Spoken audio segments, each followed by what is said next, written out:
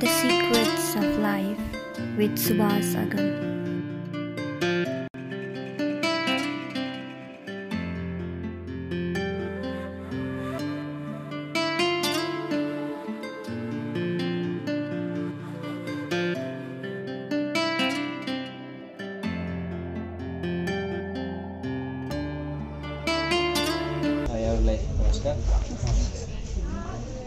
तपाईँहरू अहिले यहाँ गोरक्षपीठ सिद्धाचल मृगस्थलीमा आइपुग्नु भएको छ। यो मन्दिर जो अगाडि देखिरहनु भएको छ मल्लकालदेखि अनवरत रूपमा यहाँ छ। मितिलाई तेजेर भन्नुपर्दाखेरि विक्रम सम्वत पाँच सय बाइस सालदेखि यहाँको परम्परा चलिरहेछ। अर्थात् चाहिँ मल्लकालमा नरेन्द्रदेव मल्लको विषयमा हजुरहरूले कतिको अध्ययन गर्नुभएको छ। राजा नरेन्द्रदेव मल्ल जो बुङमतीको मच्छेन्द्रनाथदेखि लिएर काठमाडौँमा हामीले मच्छेन्द्रनाथको भोटो जात्रादेखि लिएर काठमाडौँमा मच्छेन्द्रनाथलाई धेरै मानिन्छ। यहाँलाई थाहै होला होइन? विशेष गरी चाहिँ नेवारी कल्चरहरूमा र बुद्ध परम्पराको वज्रयान कल्चरमा मच्छेन्द्रनाथलाई धेरै मानिन्छ। र त्यसै गरी चाहिँ गोरखनाथलाई पनि उहाँहरूले तपाईँको जस जसलाई गुरु रिम्पोर्चे भन्नुहुन्छ वज्रयान परम्परामा हामीले चाहिँ यहाँ उहाँलाई गोरखनाथ भन्छौँ। अब नेपालमा नाथ परम्पराको सुरुवातलाई हेर्ने भने मल्लकालमा तपाईँको धेरै ठाउँमा यो चाहिँ मृगस्थली क्षेत्रमा गोरखनाथ बाबाले बाह्र वर्षसम्म बसेर यहाँ चाहिँ अखण्ड समाधि लगाउनु भयो। त्यो लगाइसकेपछि त्यसको विषयमा हजुरले अलिकति डिटेल्ली थाहा पाउनको लागि चाहिँ एउटा बुक छ। त्यसको चाहिँ हाम्रो यहाँ पनि उपलब्ध छ। मच्छेन्द्र पद्य शतकम भन्ने एउटा बुक छ। मच्छेन्द्र पद्य शतकम भन्ने यत्रो सानो पुस्तक छ। त्यसमा चाहिँ कसरी चाहिँ यहाँ मच्छेन्द्रनाथजीको आगमन काष्ठमण्डपमा भयो। मच्छेन्द्रनाथजीलाई हामीले कामरूप कामाख्याबाट राजा नरेन्द्रदेव मल्ल र उहाँको पुरोहित उहाँले चाहिँ नि बन्धुदत्त शर्मा उहाँहरूले चाहिँ लिएर आउनु भएको किन भन्दा मच्छेन्द्रनाथ भनेको गोरखनाथ बाबाका गुरु। अब नाथ परम्परा भन्ने बित्तिकै नाथ परम्पराभित्र नवनाथ चौरासी सिद्ध भन्ने हुन्छ र चौसठी योगिनीहरूको स्थान हुन्छ। त्यसपछि उनपचास भैरवहरूको पूजा आराधना गरिन्छ होइन? अब हजुरहरूलाई जस्तो नवनाथ र चौरासी सिद्ध भन्ने बित्तिकै चौरासी सिद्धको विषयवस्तु चाहिँ नि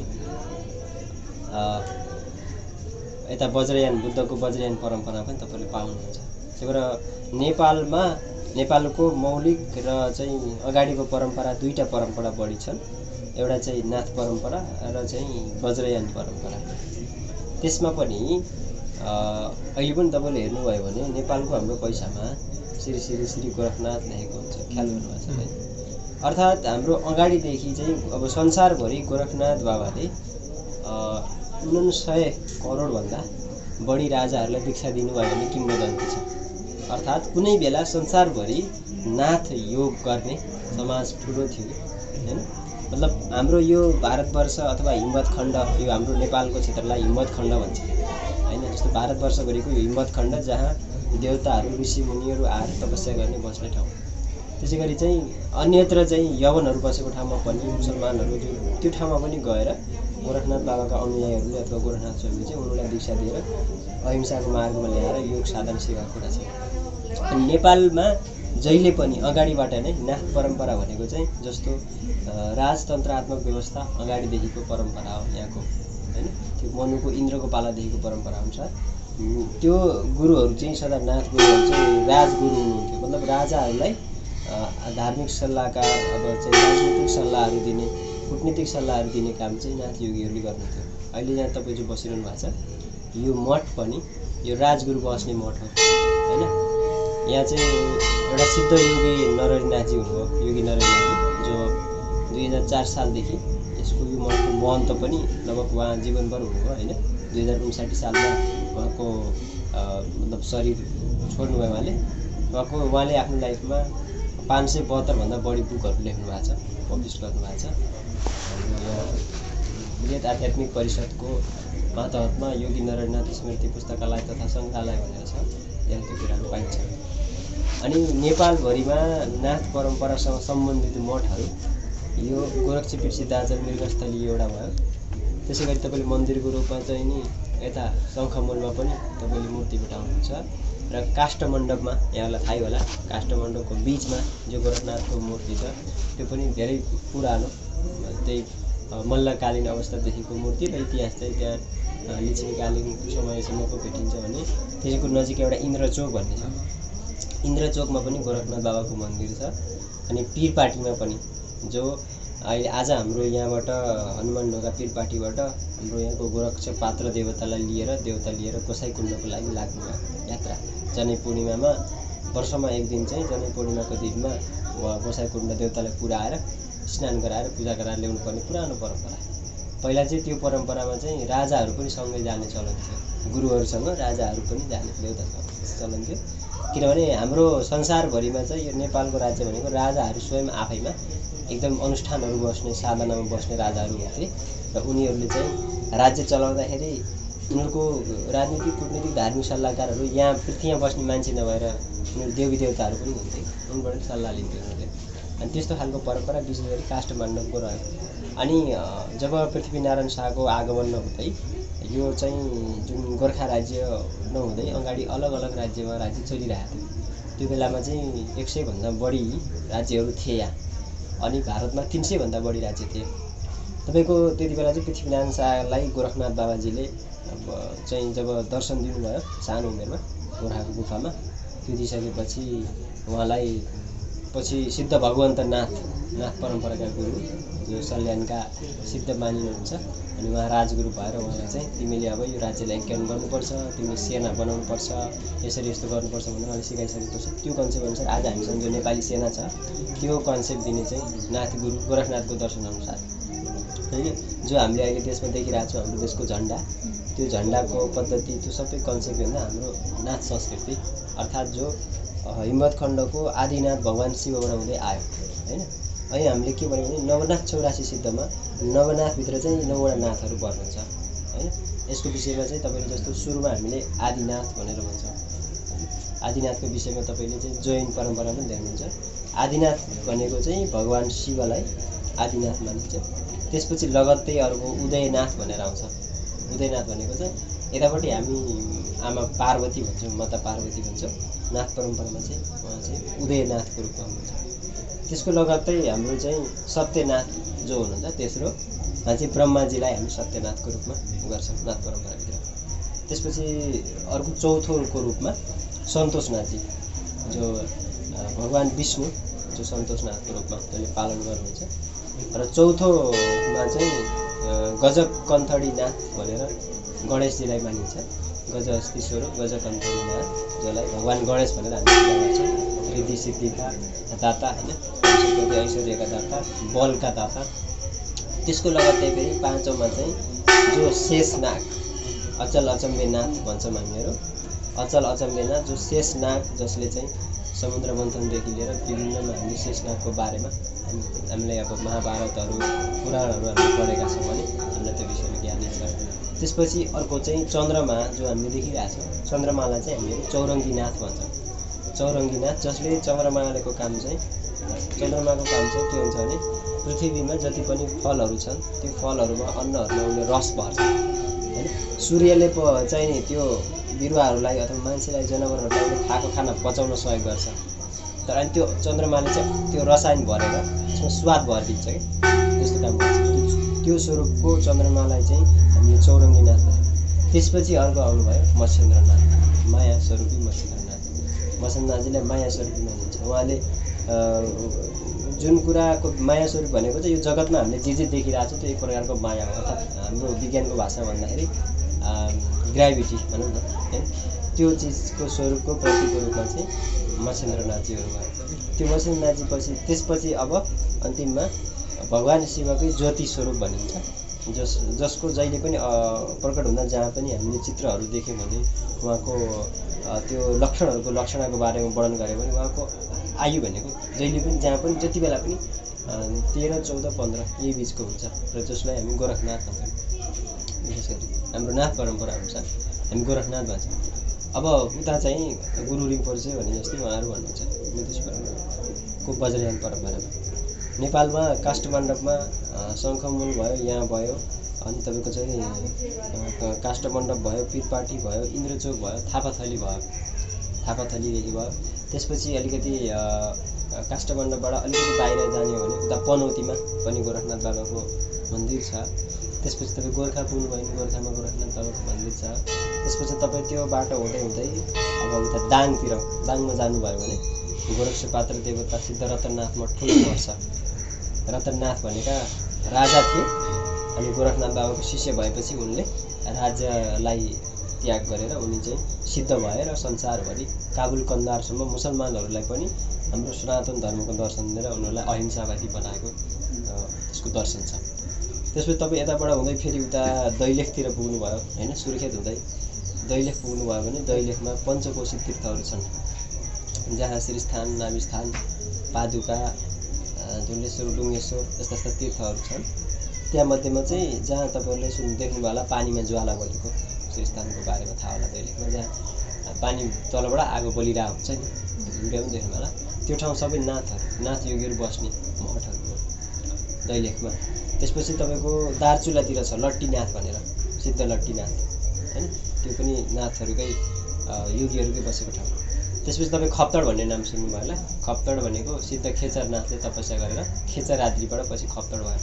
त्यो देउताको राजधानी पनि थियो। अनि तपाईँ खप्तड हुँदै फेरि जुम्ला पुग्नुहुन्छ। जुम्ला गएपछि सिद्ध चन्दननाथ भन्ने नाम सुन्नुपर्छ तपाईँले। नाथ परम्पराको बारेमा यति अध्ययन गर्नुभएको छ भने। ठुलो मठ चन्दननाथजीले स्थापना गर्नुभयो। चन्दननाथजी पनि जुम्लामा चन्दननाथजीले चाहिँ जुम्लामा धान खेती गर्नको लागि कश्मीरबाट धान ल्याएर र स्याउ खेती गरेर सिकाउनु भयो त्यहाँको समाजलाई चन्दननाथजीले सिद्ध चन्दननाथजीले अनि त्यसै गरी पछि पछि चाहिँ नि अब विभिन्न सिद्धहरू हुनुभयो आउँदै जानुभयो। अब विशेष गरी हामीले नाथ सम्प्रदायको बारेमा पछिल्लो समयमा आएको सिद्धको बारेमा चर्चा गर्नुपर्दा एउटा चाहिँ आत्मज्ञानी इन्लाइटेन पर्सन र धेरै विद्वान धेरै ठुलो योगी गुरुको पर्सन गर्दा योगी नारायण नाथजीको बारेमा हामीले अलिकति अनुसन्धान गर्नुपर्ने हुन्छ। किनभने एउटा व्यक्तिले आफ्नो लाइफमा उहाँले लगभग लगभग संसारका धेरै देशहरू घुम्नुभयो नेपाल भारत त कैयौँपल्ट पैदल यात्रा गर्नुभयो होइन अनि इतिहास पुरातत्व नेपाली साहित्यदेखि लिएर मलाई सत्ताइसवटा भाषा सोह्रवटा लिपिको ज्ञान थियो। र हामीले चाहिँ अघि मैले भनिहालेँ पाँच सय बहत्तरवटा पुस्तक एउटा व्यक्तिले लेखिरहेको छ र त्यो पनि एकदम त्यो लिपिसँग सम्बन्धित पुस्तकहरूदेखि लिएर अब पुराना पुराना जति पनि तपाईँको जस्तो शिलाहरूमा लेखिएको छ मन्दिरहरूको शिलामा भएको जस्तो लुम्बिनीमा तपाईँले अशोक स्तम्भ देख्नु भएको छ। त्यो अशोक स्तम्भमा लिपि जुन लिपि छ अशोककालीन लिपि त्यसलाई ब्राह्मी लिपि भनिन्छ होइन जस्तो अहिले हामीले लेख्ने लिपि के हो त? देवनागरी लिपि नेपाली भाषा हिन्दी भाषाको। त्यसमध्ये अझै अगाडि त्यो ब्राह्मी लिपि जो छ त्यो ब्राह्मी लिपिमा लुम्बिनीमा जे कुरा लेखिएको थियो त्यसको चाहिँ नेपालीमा र हिन्दीमा त्यसको अनुवाद गरेर गुरुजीले त्यसलाई पनि प्रकाशित गरिदिनु भएको छ। अनि विभिन्न ठाउँका जस्तो हाम्रो पशुपतिमा मृगस्थलीमा काष्ठमण्डपमा पाटनमा विभिन्न शिलाहरू हुन्छन्। हामीले त्यो शिला अहिले हेऱ्यो भने त्यसको केही अर्थ पनि लाउन सक्दैन। र गुरुजीहरूले त्यसलाई अर्थ नेपालीमा अर्थ लेखिदिएर पुस्तक छापिदिनु भएको छ। त्यस्ता मोटा मोटा पुस्तकहरू। ती चिजहरू हामीले अध्ययन गरिसकेपछि अनि नेपालमा नाथ परम्पराको अस्तित्व भनेको चाहिँ धेरै अगाडिबाट। जस्तो कुनै पनि माङ्गलिक कार्य गर्दाखेरि राजाहरूले नेपालमा हाम्रो नेपालको कुलदेवता भनेको गोरखनाथ। कुलदेवी भनेको काली। त्यो त हजुरलाई थाहा होला। तर हाम्रो एउटा त्यो पनि स्लोगन छ नि जय जय गोरख जय जय काली भन्ने स्लोगन छ। त्यो त्यो आयो। किन भन्दा नेपाली सेना बनायो कसले भन्दा गोरखनाथले। अनि त्यो गोरखनाथले गोर्खालीहरूले चाहिँ गोरखनाथ बाबाको रोड खाएर अनि त्यो लडेको वीरगाथा अनि संसारमा हामीले चाहिँ नेपाली भन्दा नि हामीलाई गोर्खाली। किनभने गोरख कालीको उपासना गर्ने गोरख कालीबाट गोर्खाली भयो। होइन किनभने संसारमा आज पनि तपाईँले हेर्नुभयो भने एउटा चाहिँ छत्रीको बलियो छत्रीको रूपमा गोर्खालीकै नाम आउँछ होइन? आज तपाईँको भारतको गोर्खा रेजिमेन्ट छ अनि चाहिँ तपाईँको बेलायतको चाहिँ राजको राजकीय उसको सुरक्षा गर्नु पऱ्यो भने गोर्खाली छ। भनेको संसारमा गोर्खाली हिजोदेखि अगाडिदेखि बलियो वीर साहसी भनेर चिनिन्छ। किन त भन्दाखेरिमा उनीहरू सधैँदेखि हामी भौतिक स्रोत र साधनको मात्रै साधना गर्ने होइन कि दैविक चिजलाई प्राप्त गरेर बलियो हुन सक्छ सकिन्छ भन्ने हाम्रो जुन दर्शन हो नि सनातन दर्शन त्यसलाई चाहिँ एकदम अनवरत रूपमा पालना गर्दै आएको हाम्रो पद्धति नेपालको। हिजोका दिनमा चाहिँ यो देशले हाम्रो देशमा हेर्नुहोस् न हाम्रो भौगोलिक दृष्टिकोणले हेर्दाखेरि हामीलाई हाम्रो नेपाल एकदम सानो लाग्छ। तर यसको आध्यात्मिक चेतनाको दृष्टिले हेर्ने हो भने हामीले हाम्रा देशका हरेकै ठाउँका हाम्रो देश त यस्तो छ कि होइन अब अहिले त्यो कुरा चेन्ज भयो। यहीँ पनि काठमाडौँमा हिजोका दिनमा मान्छेको घरभन्दा मन्दिर धेरै थिए होइन? त्यसमा पनि हरेक घर घरमा एउटा एउटा पूजा कोठा हुन्थ्यो होइन? भनेको मान्छेको जिन्दगी चाहिँ के गरेर बित्यो त भन्दाखेरिमा त्यो दैविक कार्यमै बित्यो सोच पनि तपाईँ हेर्नु न त्यति नगरिकन तपाईँ हामी जस्तो काठमाडौँ जान्छौँ हामी बसन्तपुर जान्छौँ तिमीले बनाएका मन्दिरहरू त्यहाँ बनाएका मूर्तिहरूमा त्यो खालको भाव अब यहाँ हेर्नुहोस् यस्तो मन्दिरहरू छन् गजुरहरू बनेका छन् यिनी चिजहरूको यहाँ ढोकादेखि लिएर घन्टीहरू त्यो कुनै लाइक अहिले पन्ध्र सय सोह्र सय अथवा उसमा बनेका भर्खर मिसेका अमेरिका अथवा चाहिँ अस्ट्रेलियाका अथवा त्यहाँका युनिभर्सिटीबाट पढाइ आएका व्यक्तिले बनाएका मन्दिर त होइन नि त। हो कि नै? यो विषयमा हामीले अलिकति चाख लिएर खोज्यौँ भने हाम्रो त हाम्रो आर्किटेक्चर त जो पुरानो आर्किटेक्चर जो छ नि त्यो वास्तुको बारेमा हामीले अध्ययनै गरेको छैन नि त। किनभने हामीले हाम्रो एस्ट्रोलोजीलाई हाम्रो जुन छ ज्योतिषलाई इग्नोर गर्थ्यौँ कि? किन भन्दाखेरिमा पश्चिमले हामीलाई जे जे सिकायो होइन? पश्चिमले चाहिँ हामीलाई सिकाइदियो कि तिमीहरू मानिसहरू भनेको चाहिँ बाँदरको सन्तान बाँदरको पुर्खा चाहिँ मानिसको पुर्खा बाँदर हो र मानिसहरू पहिला जङ्गलमा बस्थे काँचो मासु खान्थे गुफाहरूमा बस्थे भन्ने सिकाइदियो अँ भन्ने हामी त्यति अब जङ्गलमा बस्ने काँचो मासु खाने मान्छेहरूले यस्ता यस्ता मन्दिर बनाउनु पर्छ घन्टी बनाउनु पर्छ यस्तो सिभिलाइजेसनहरूको विषयमा कसरी रिसर्च गर्न सक्छ? तर हामी त त्यो होइन। जसले त्यो भने होइन डार्विनले त्यो कुरा भनेपछि होला अझै पनि होला नि ती जङ्गलमा बस्ने काँचो मासु खानेहरू अझै पनि छ नि। तर हाम्रो त गोत्र परम्परा छ। हामीले त हरेक नामको पछि गोत्र राखिरहेछौँ हरेक एउटा एउटा गोत्र छ नि त। भनेको त्यो हाम्रो पूर्वज हो जसको हामीले पहाडीको ऋषिको नाम लियौँ त्यो ऋषिहरूले एउटा एउटा विषयमा खोज गरेको छ होइन कसैले आयुर्वेदमा गरेछ कसैले ज्योतिषको विषयमा गरेछ कसैले गणितको विषयमा गरेछ। कसैले भूगर्भशास्त्रको विषयमा कसैले अङ्कगणितको विषयमा। हामीले हाम्रो गणितको बारेमा थाहै छैन क्या छ होइन? हामीले चाहिँ ए प्लस बीको होल स्क्वायर बराबर a square plus two a plus b square भन्ने जानेका छौँ। तर त्यो फर्मुला कहाँबाट कपिराइट गरेको भन्ने विषयमा हामीले विशेष गरेका छैनौँ। किनभने एउटा हाम्रो चाहिँ यतापट्टि हाम्रा ज्योतिषका ग्रन्थहरूमा जस्तो अब रावणको बारेमा कतिको रिसर्च गर्नुभएको तपाईँहरूले रावण चाहिँ संसारको सबैभन्दा बेस्ट एस्ट्रोलोजर हो। होइन? उसको एस्ट्रोलोजी बराबर अहिले संसारमा केही पनि छैन। संसारमा रावण पछिको विद्वान व्यक्तिको रूपमा आजभन्दा दुई हजार वर्ष अगाडि उज्जैनका भर्तीहरी भन्ने एउटा व्यक्ति निस्क्यो जो पछि गोरखनाथ परम्परामा आइसकेपछि उनको नाम सिद्ध विचारनाथ हो गोरखनाथ बाबाको शिष्य। अहिलेको जुन हाम्रो बुटोलबाट गएपछि तपाईँको सिद्ध बाबा भन्ने एउटा ठाउँ छ तपाईँलाई थाहा होला। त्यहाँ आएर उनले तपस्या गरे होइन? मामा भन्छ गोपीचन्द्र भर्तीहरी दुइटै राजा थिए उनीहरू र विशेष गरी नाथ परम्पराका सिद्धहरूमा चाहिँ बढी चाहिँ राजाहरू पछि चाहिँ राज सबै त्यागेर अनि योगी भएकाहरू भेट्न हुन्छ भारतवर्षमा पनि अनि यता हिम्मत खण्डमा पनि। त्यस गरी चाहिँ नि अब हाम्रो वास्तुको अनि यो यो सबै कुरालाई चाहिँ नाथ सम्प्रदाय भनेको एउटा अर्को कुरा हामीले के बुझ्नुपर्छ भने हामी नाथ सम्प्रदाय भनेको अलिकति धेरै फराकिलो। अहिलेको भाषामा भन्दाखेरि प्रजातान्त्रिक मूल्य मान्यतामा विश्वास गर्ने। भनेको मान्छेलाई जातिको हिसाबले भेद नगर्ने। मान्छे जातको हिसाबमा तल्लो र उपल्लो हुँदैन भन्छ। मतलब हाम्रो पर- परम्परा छोरा मान्छे छोरी मान्छे समाजले भनेको तल्लो जात उपल्लो जात कारण भेद गर्ने चलन चाहिँ हुँदैन। कोही पनि व्यक्ति यहाँ दीक्षा लिन चाह्यो भने अहिले पनि नाथ परम्परामा आउन सक्छ। मतलब त्यसमा हिन्दू भन्ने मात्र पनि छैन। संसारको मानव मात्र जो पनि आएर साधना गर्छु र त्यसको अनुशासनको पालना गर्छु भनेपछि उसले दीक्षा लिन पाउँछ हाम्रो परम्परामा। यो नाथ परम्परा विशेष गरी। एकदम समदर्शी परम्परा होइन? तपाईँले हेर्नुभयो भने त्यो किनभने हिजोका दिनमा जब बुद्धकालीन सभ्यता फैलियो नि जस्तो तपाईँको लागि अब नालन्दाको बारेमा कतिको अध्ययन गर्नुभएको छ होइन? नालन्दा जुन युनिभर्सिटी थियो विश्वविद्यालय थियो होइन? त्यो नालन्दा विश्वविद्यालयमा जुन किसिमको बौद्ध दर्शन विशेष गरी वज्रयान परम्परा त्यसो पनि त्यो आयुर्वेदको जडीबुटी विज्ञानको विषयलाई बढी हेर्थ्यो होइन? त्यो पछि जब त्यहाँबाट नष्ट हुन लागिसकेपछि त्यो यता नेपालको बाटो हुँदै तिब्बतमा गयो। त्यो पहिला संस्कृत भाषामा थियो पछि गएर त्यो जोगाउनको लागि फेरि तिब्बतीन भाषा बनाउनु पऱ्यो त्यो भाषा बनाएर अहिले हामीसँग जे छ जस्तो नेपालले चाहिँ दुईवटा कुरालाई जोगायो क्या। एउटा चाहिँ हाम्रो शैव जुन पद्धति परम्परा पद्धति छ शिवको हामी चाहिँ काली र शिव दुवैलाई मान्ने परम्परा शिव र शक्ति। हाम्रो चाहिँ हामीले अहिले चाहिँ यतापट्टि नेगेटिभ र पोजिटिभ जो भन्छ नि साइन्सको भाषामा त्यो दुइटै कुरालाई मान्यो भनेको शिव शक्तिको उपासना गर्ने एउटा पद्धतिलाई हामीले जोगायौँ। पछि आएको बुद्धको जुन भारतबाट चाहिँ बुद्धको पुरा लोपै भयो। किन भन्दाखेरिमा भारतमा अहिले तपाईँले नाम सुन्नुहुन्छ नि बिहार त्यो बिहार भनेको त बुद्धले ध्यान धर्म देशना दिने ठाउँ ध्यान सिकाउने ठाउँ यो भिक्षुहरू बस्ने ठाउँ थियो। तर आज तपाईँले बिहार शब्द मात्रै भेटाउनुहुन्छ त्यहाँ कुनै भिक्षु कुनै त्यो भेटाउनुहुँदैन किनभने कुनै बेला त्यहाँबाट लखेटियो त्यति बेला जोगायो कसले भन्दा यसले हाम्रो यसले। हामी त्यति बेला पनि शिवको उपासना गर्थ्यौँ होइन? अनि हामीले चाहिँ बुद्धलाई यसरी ल्यायौँ कि अब हाम्रो परम्परा अनुसार चाहिँ हामी बुद्धलाई भगवान् विष्णुको नौ अवतार मान्छौँ होइन? किनभने भगवान् विष्णुको नौ अवतार मात्र हामीले चाहिँ काष्ठमण्डपमा यस्तो यस्तो घरहरू छ। नेपालभरि तपाईँले भेटाउनुहुन्छ बिहान शिवजीको पूजा गरे पनि साँझ बुद्धको पूजा गर्छ। त्यस कारणले बुद्ध र शैव हामी चाहिँ शिवकै स्वरूप मान्छ क्या बुद्धलाई धेरैले। अनि त्यो बुद्ध फेरि हाम्रो नाथ परम्परामा उहाँ चाहिँ सिद्ध बुद्धनाथ भनेर भनिन्छ। उहाँको गुरु सारङ्गनाथ होइन? अहिले जो भारतमा सारनाथ भन्नुहुन्छ नि तपाईँहरू। सारनाथमा उहाँलाई बोध ज्ञान भयो भन्ने कुरा छ नि। त्यहाँ चाहिँ सारङ्गनाथजी सिद्ध सारङ्गनाथ हुनुहुन्थ्यो। अनि सारङ्गनाथजीसँग उहाँले दीक्षा लिएपछि अहिले जो विपासना जो हामी गर्छौँ नि त्यो चाहिँ सारङ्गनाथजीबाट उहाँले चाहिँ दीक्षा लिएर त्यो विपासनाको ज्ञान उहाँलाई भइसकेपछि उहाँले छ वर्ष कठोर तपस्या गर्नुभयो होइन जरबाट निस्केपछि।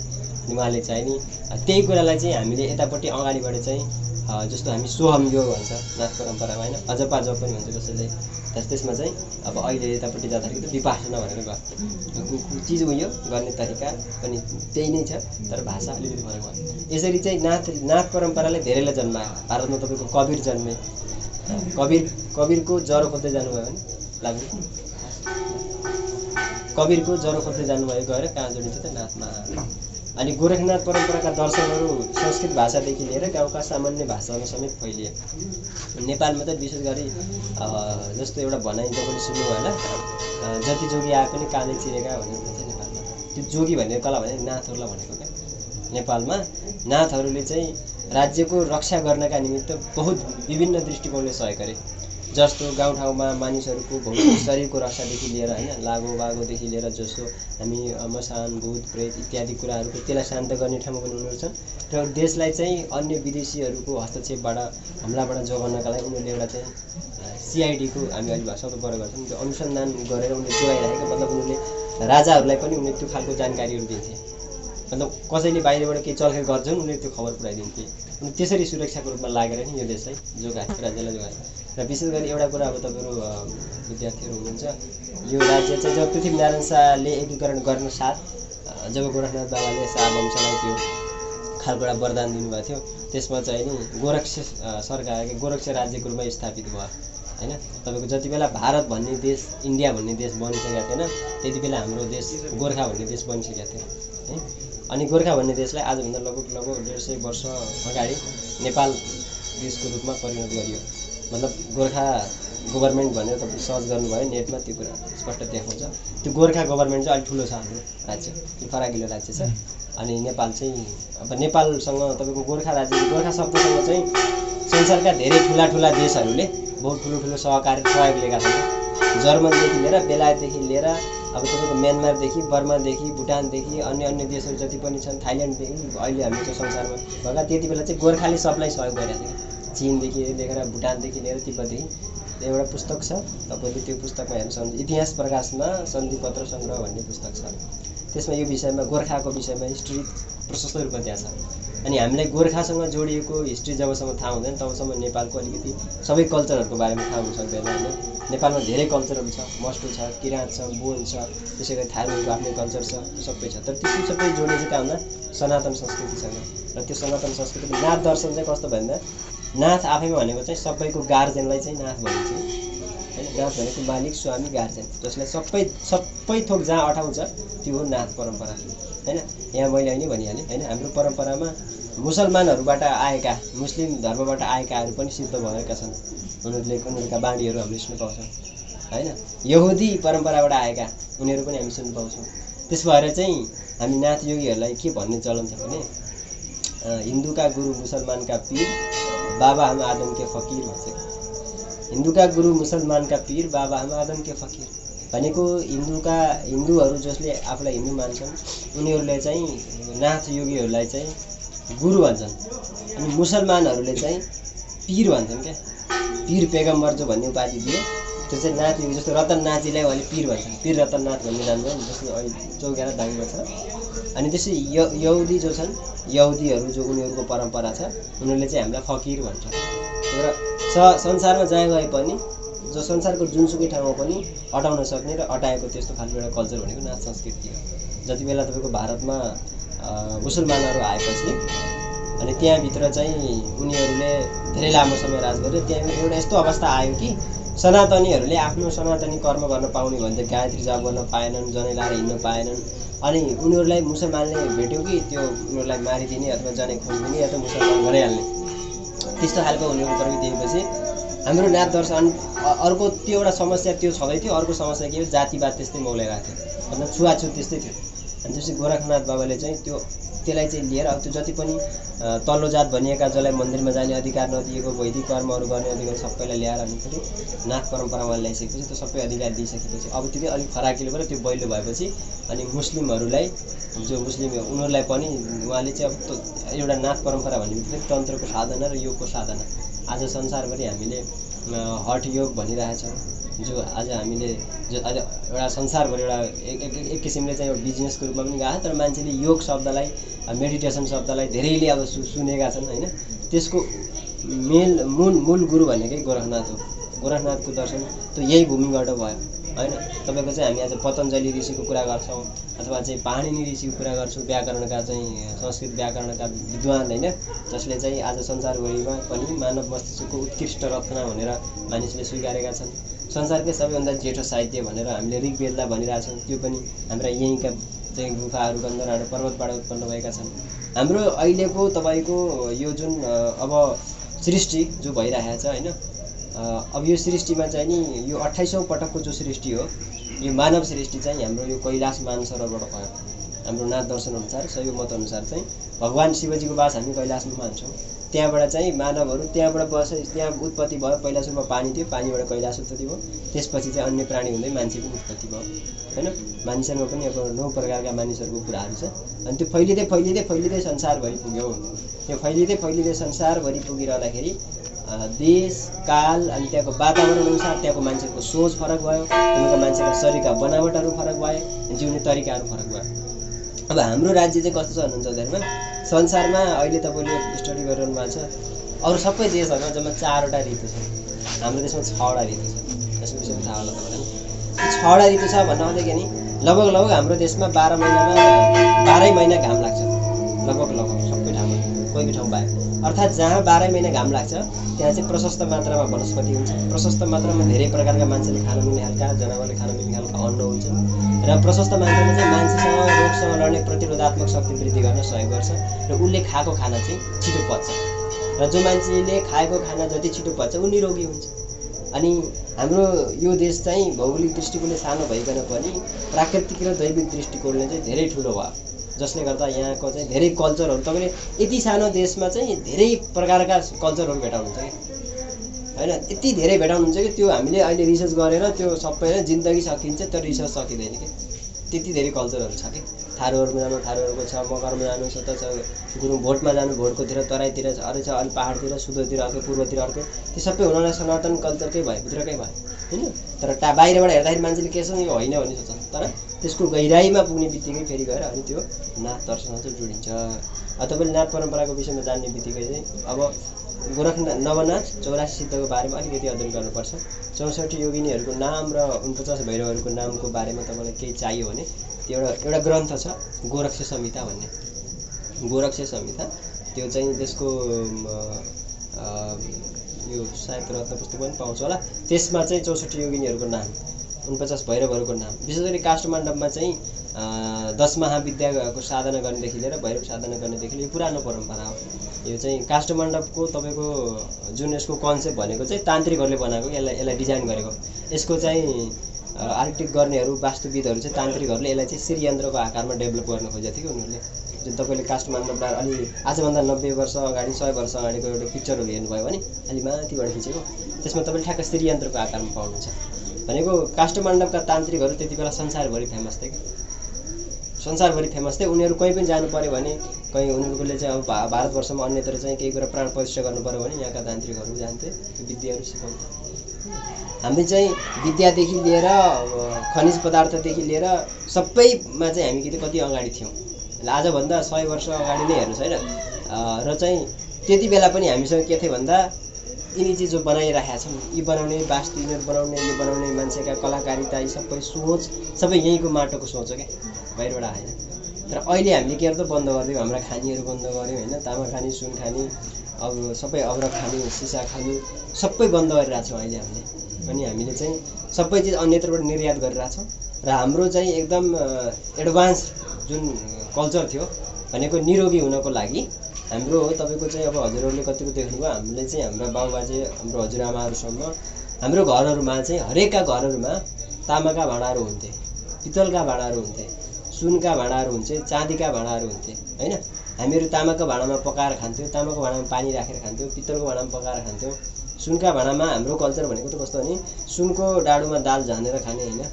त्यो आयुर्वेदिक दृष्टिकोणले चाहिँ हेल्थको लागि एकदम राम्रो। सुन लगाउने भन्दा पनि सुनको भाँडामा पकाएर खाँदाखेरि शरीरको तपाईँको रोगसँग लड्ने प्रतिरोधात्मक क्षमताको वृद्धि हुने र शरीरमा चाहिँ क्यान्सरजन्य रोग चाहिँ नलाग्ने। त्यति फाइदा छ। जस्तो हामीले सुनको डाडुमा दाल झानेर खानुको पछाडि यस्ता यस्ता धेरै कुराहरू छन्। हाम्रो हाम्रो कल्चर अनुसार जो हामीले खाना बनाउने हाम्रा भान्सामा जो चिज हुन्छ नि संसारको त्यो कुनै पनि भान्सामा हुँदैन कि। तपाईँले रिसर्च गर्नु एउटा गाउँको सामान्य भान्सा जस्तो हाम्रो हजुरआमाहरूले अथवा आमाहरूले जो बनाउन्थ्यो उहाँहरूले जे जे हालेर बनाउँथ्यो त्यो संसारको कुनै फाइभ स्टारको सेभेन स्टारको कुकले पनि त्यो कुरा अहिलेसम्म कुनै युनिभर्सिटीमा पढाएको छैन कि। मतलब उनीहरूले अहिले चाहिँ हेल्थको लागि प्रोटिनको कुरा न्युट्रिनको कुरा खुब रिसर्च गरेर आयो तर त्यो रिसर्च हाम्रो अगाडि धेरै अगाडि भयो कि।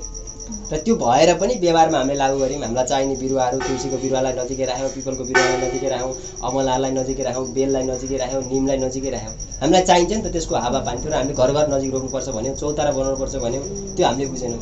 अनि त्यो मान्छेलाई चाहिँ कस्तो हुन्छ नि मान्छे सबै मान्छेहरू चाहिँ सबै मान्छेको सोच चाहिँ तर्क गर्ने र खोज गर्ने खालको हुँदैन। कतिपय मान्छेहरू सिधै धर्म विश्वास गर्छन्। त्यही भएर हाम्रा ऋषि मुनिहरू अगाडिका पूर्वजले के गर्दैन धर्मसँग जोड्दै हरेक कुरालाई। किनभने धर्मसँग चाहिँ कन्टिन्यू त्यसको पालन हुने भयो कमसेकम प्रकृति जोगिने भयो नि त। तपाईँले पिपलको पिपल बर चौताराहरू लाउनुपर्छ भनेपछि तपाईँले पिपल बर हाम्रोमा त के छ? पिपल बर स्वामी काट्नु हुँदैन। अब अब बुझ्नुहोस् कि एउटा पिपलको रुखले तपाईँ जब त्यो हजार वर्षको पुग्छ पाँच सय वर्षको तुले त्यसले पचास साठीजना मान्छेलाई मजाले अक्सिजन दिन्छ। त्यो छारी अहिले त हामीले के गरेको छौँ त डेभलपको नाममा रुखहरू त्यो पहिला पहिला बनाएका चौतारा काट्दै हिँडिरहेको छ। नि अहिलेको एजुकेसनले अहिलेको चाहिँ तपाईँको चाहिँ एक्काइसौँ शताब्दी भनेपछि चाहिँ हाम्राले चाहिँ त्यो चौतारा बनाउनुपर्छ भने ठाउँ ठाउँमा कुवा खन्नुपर्छ। हाम्रो कल्चर अनुसार चाहिँ ठाउँ ठाउँमा कुवा खनेर पानीको चाहिँ बटुवालाई चाहिँ पानी त्यो चौतारामा हुनुपर्छ। यो चाहिँ अगाडि बढ्यो त्यो रामशाहको समयको पालादेखि। त्यस्तो कल्चर भनेपछि हामीले त त्यो मानवका लागि मानव अधिकारको विषयमा त धेरै अगाडि सोचिसकेका रहेछौँ। अहिले चाहिँ संसारमा मानव अधिकारको कुरा गरिरहने र सबभन्दा धेरै संसारलाई हतियार सप्लाई गर्ने अमेरिका जस्तो हाम्रो त होइन। होइन संसारमा मानव अधिकारको कुरा उसैले गर्छ तर संसार सबभन्दा बढी हतियार उसैले बेच्छ। यो कस्तो एकदम चाहिँ नमिल्दो कुरो छ नि त। तर हामीले चाहिँ के गर्यौँ अगाडि नै मान्छेलाई मात्र नभएर प्रकृतिलाई पनि सोच्छौँ होइन हामीले तुलसी रोप्दा तुलसीको हामीले चाहिँ विवाह गर्छौँ। तुलसी हाम्रो लाइफमा यति इम्पोर्टेन्ट छ हामीले कुशको कुरा भयो। कुशको जराले भयो हाम्रो पाती होइन हामी जस्तो भैरव पाती तिते पाती भन्छौँ भीमसेन पाती भन्छौँ। पातीको विषयमा अहिले पातीको विषयमा विदेशीहरूले एकदम खोज गरिरहेछन् अहिले पाती होइन जापानमा त एकदम बढी प्रयोग भइरहेको छ अब पातीलाई चाहिँ वेदमा हाम्रो चाहिँ सुगन्ध मूल भनेर भन्छ। पातीको जरालाई हामीले यदि त्यसलाई चाहिँ सही तरिकाले रिफाइन गरेर निकाल्न सक्ने भने चाहिँ जो व्यक्तिको मानसिक सन्तुलन गुमेको हुन्छ त्यसको ठिक पार्छ। अनि हामीले जे गर्दा पनि धुपहरू हालेका हुन्छन् ती धुपहरू सबैले चाहिँ शरीरको लागि गरेको के? हामीले कुनै अन्तरिक्षमा बस्ने अर्को लोकमा बस्ने देवतालाई पुकार गरे होइन कि? हामीले आफूलाई कसरी चाहिँ नि शुद्ध बनाउने फ्रेस राख्ने तनाव रहित हुने त्यो गर्नका लागि चाहिँ ल्याएका कल्चरहरू हुन्।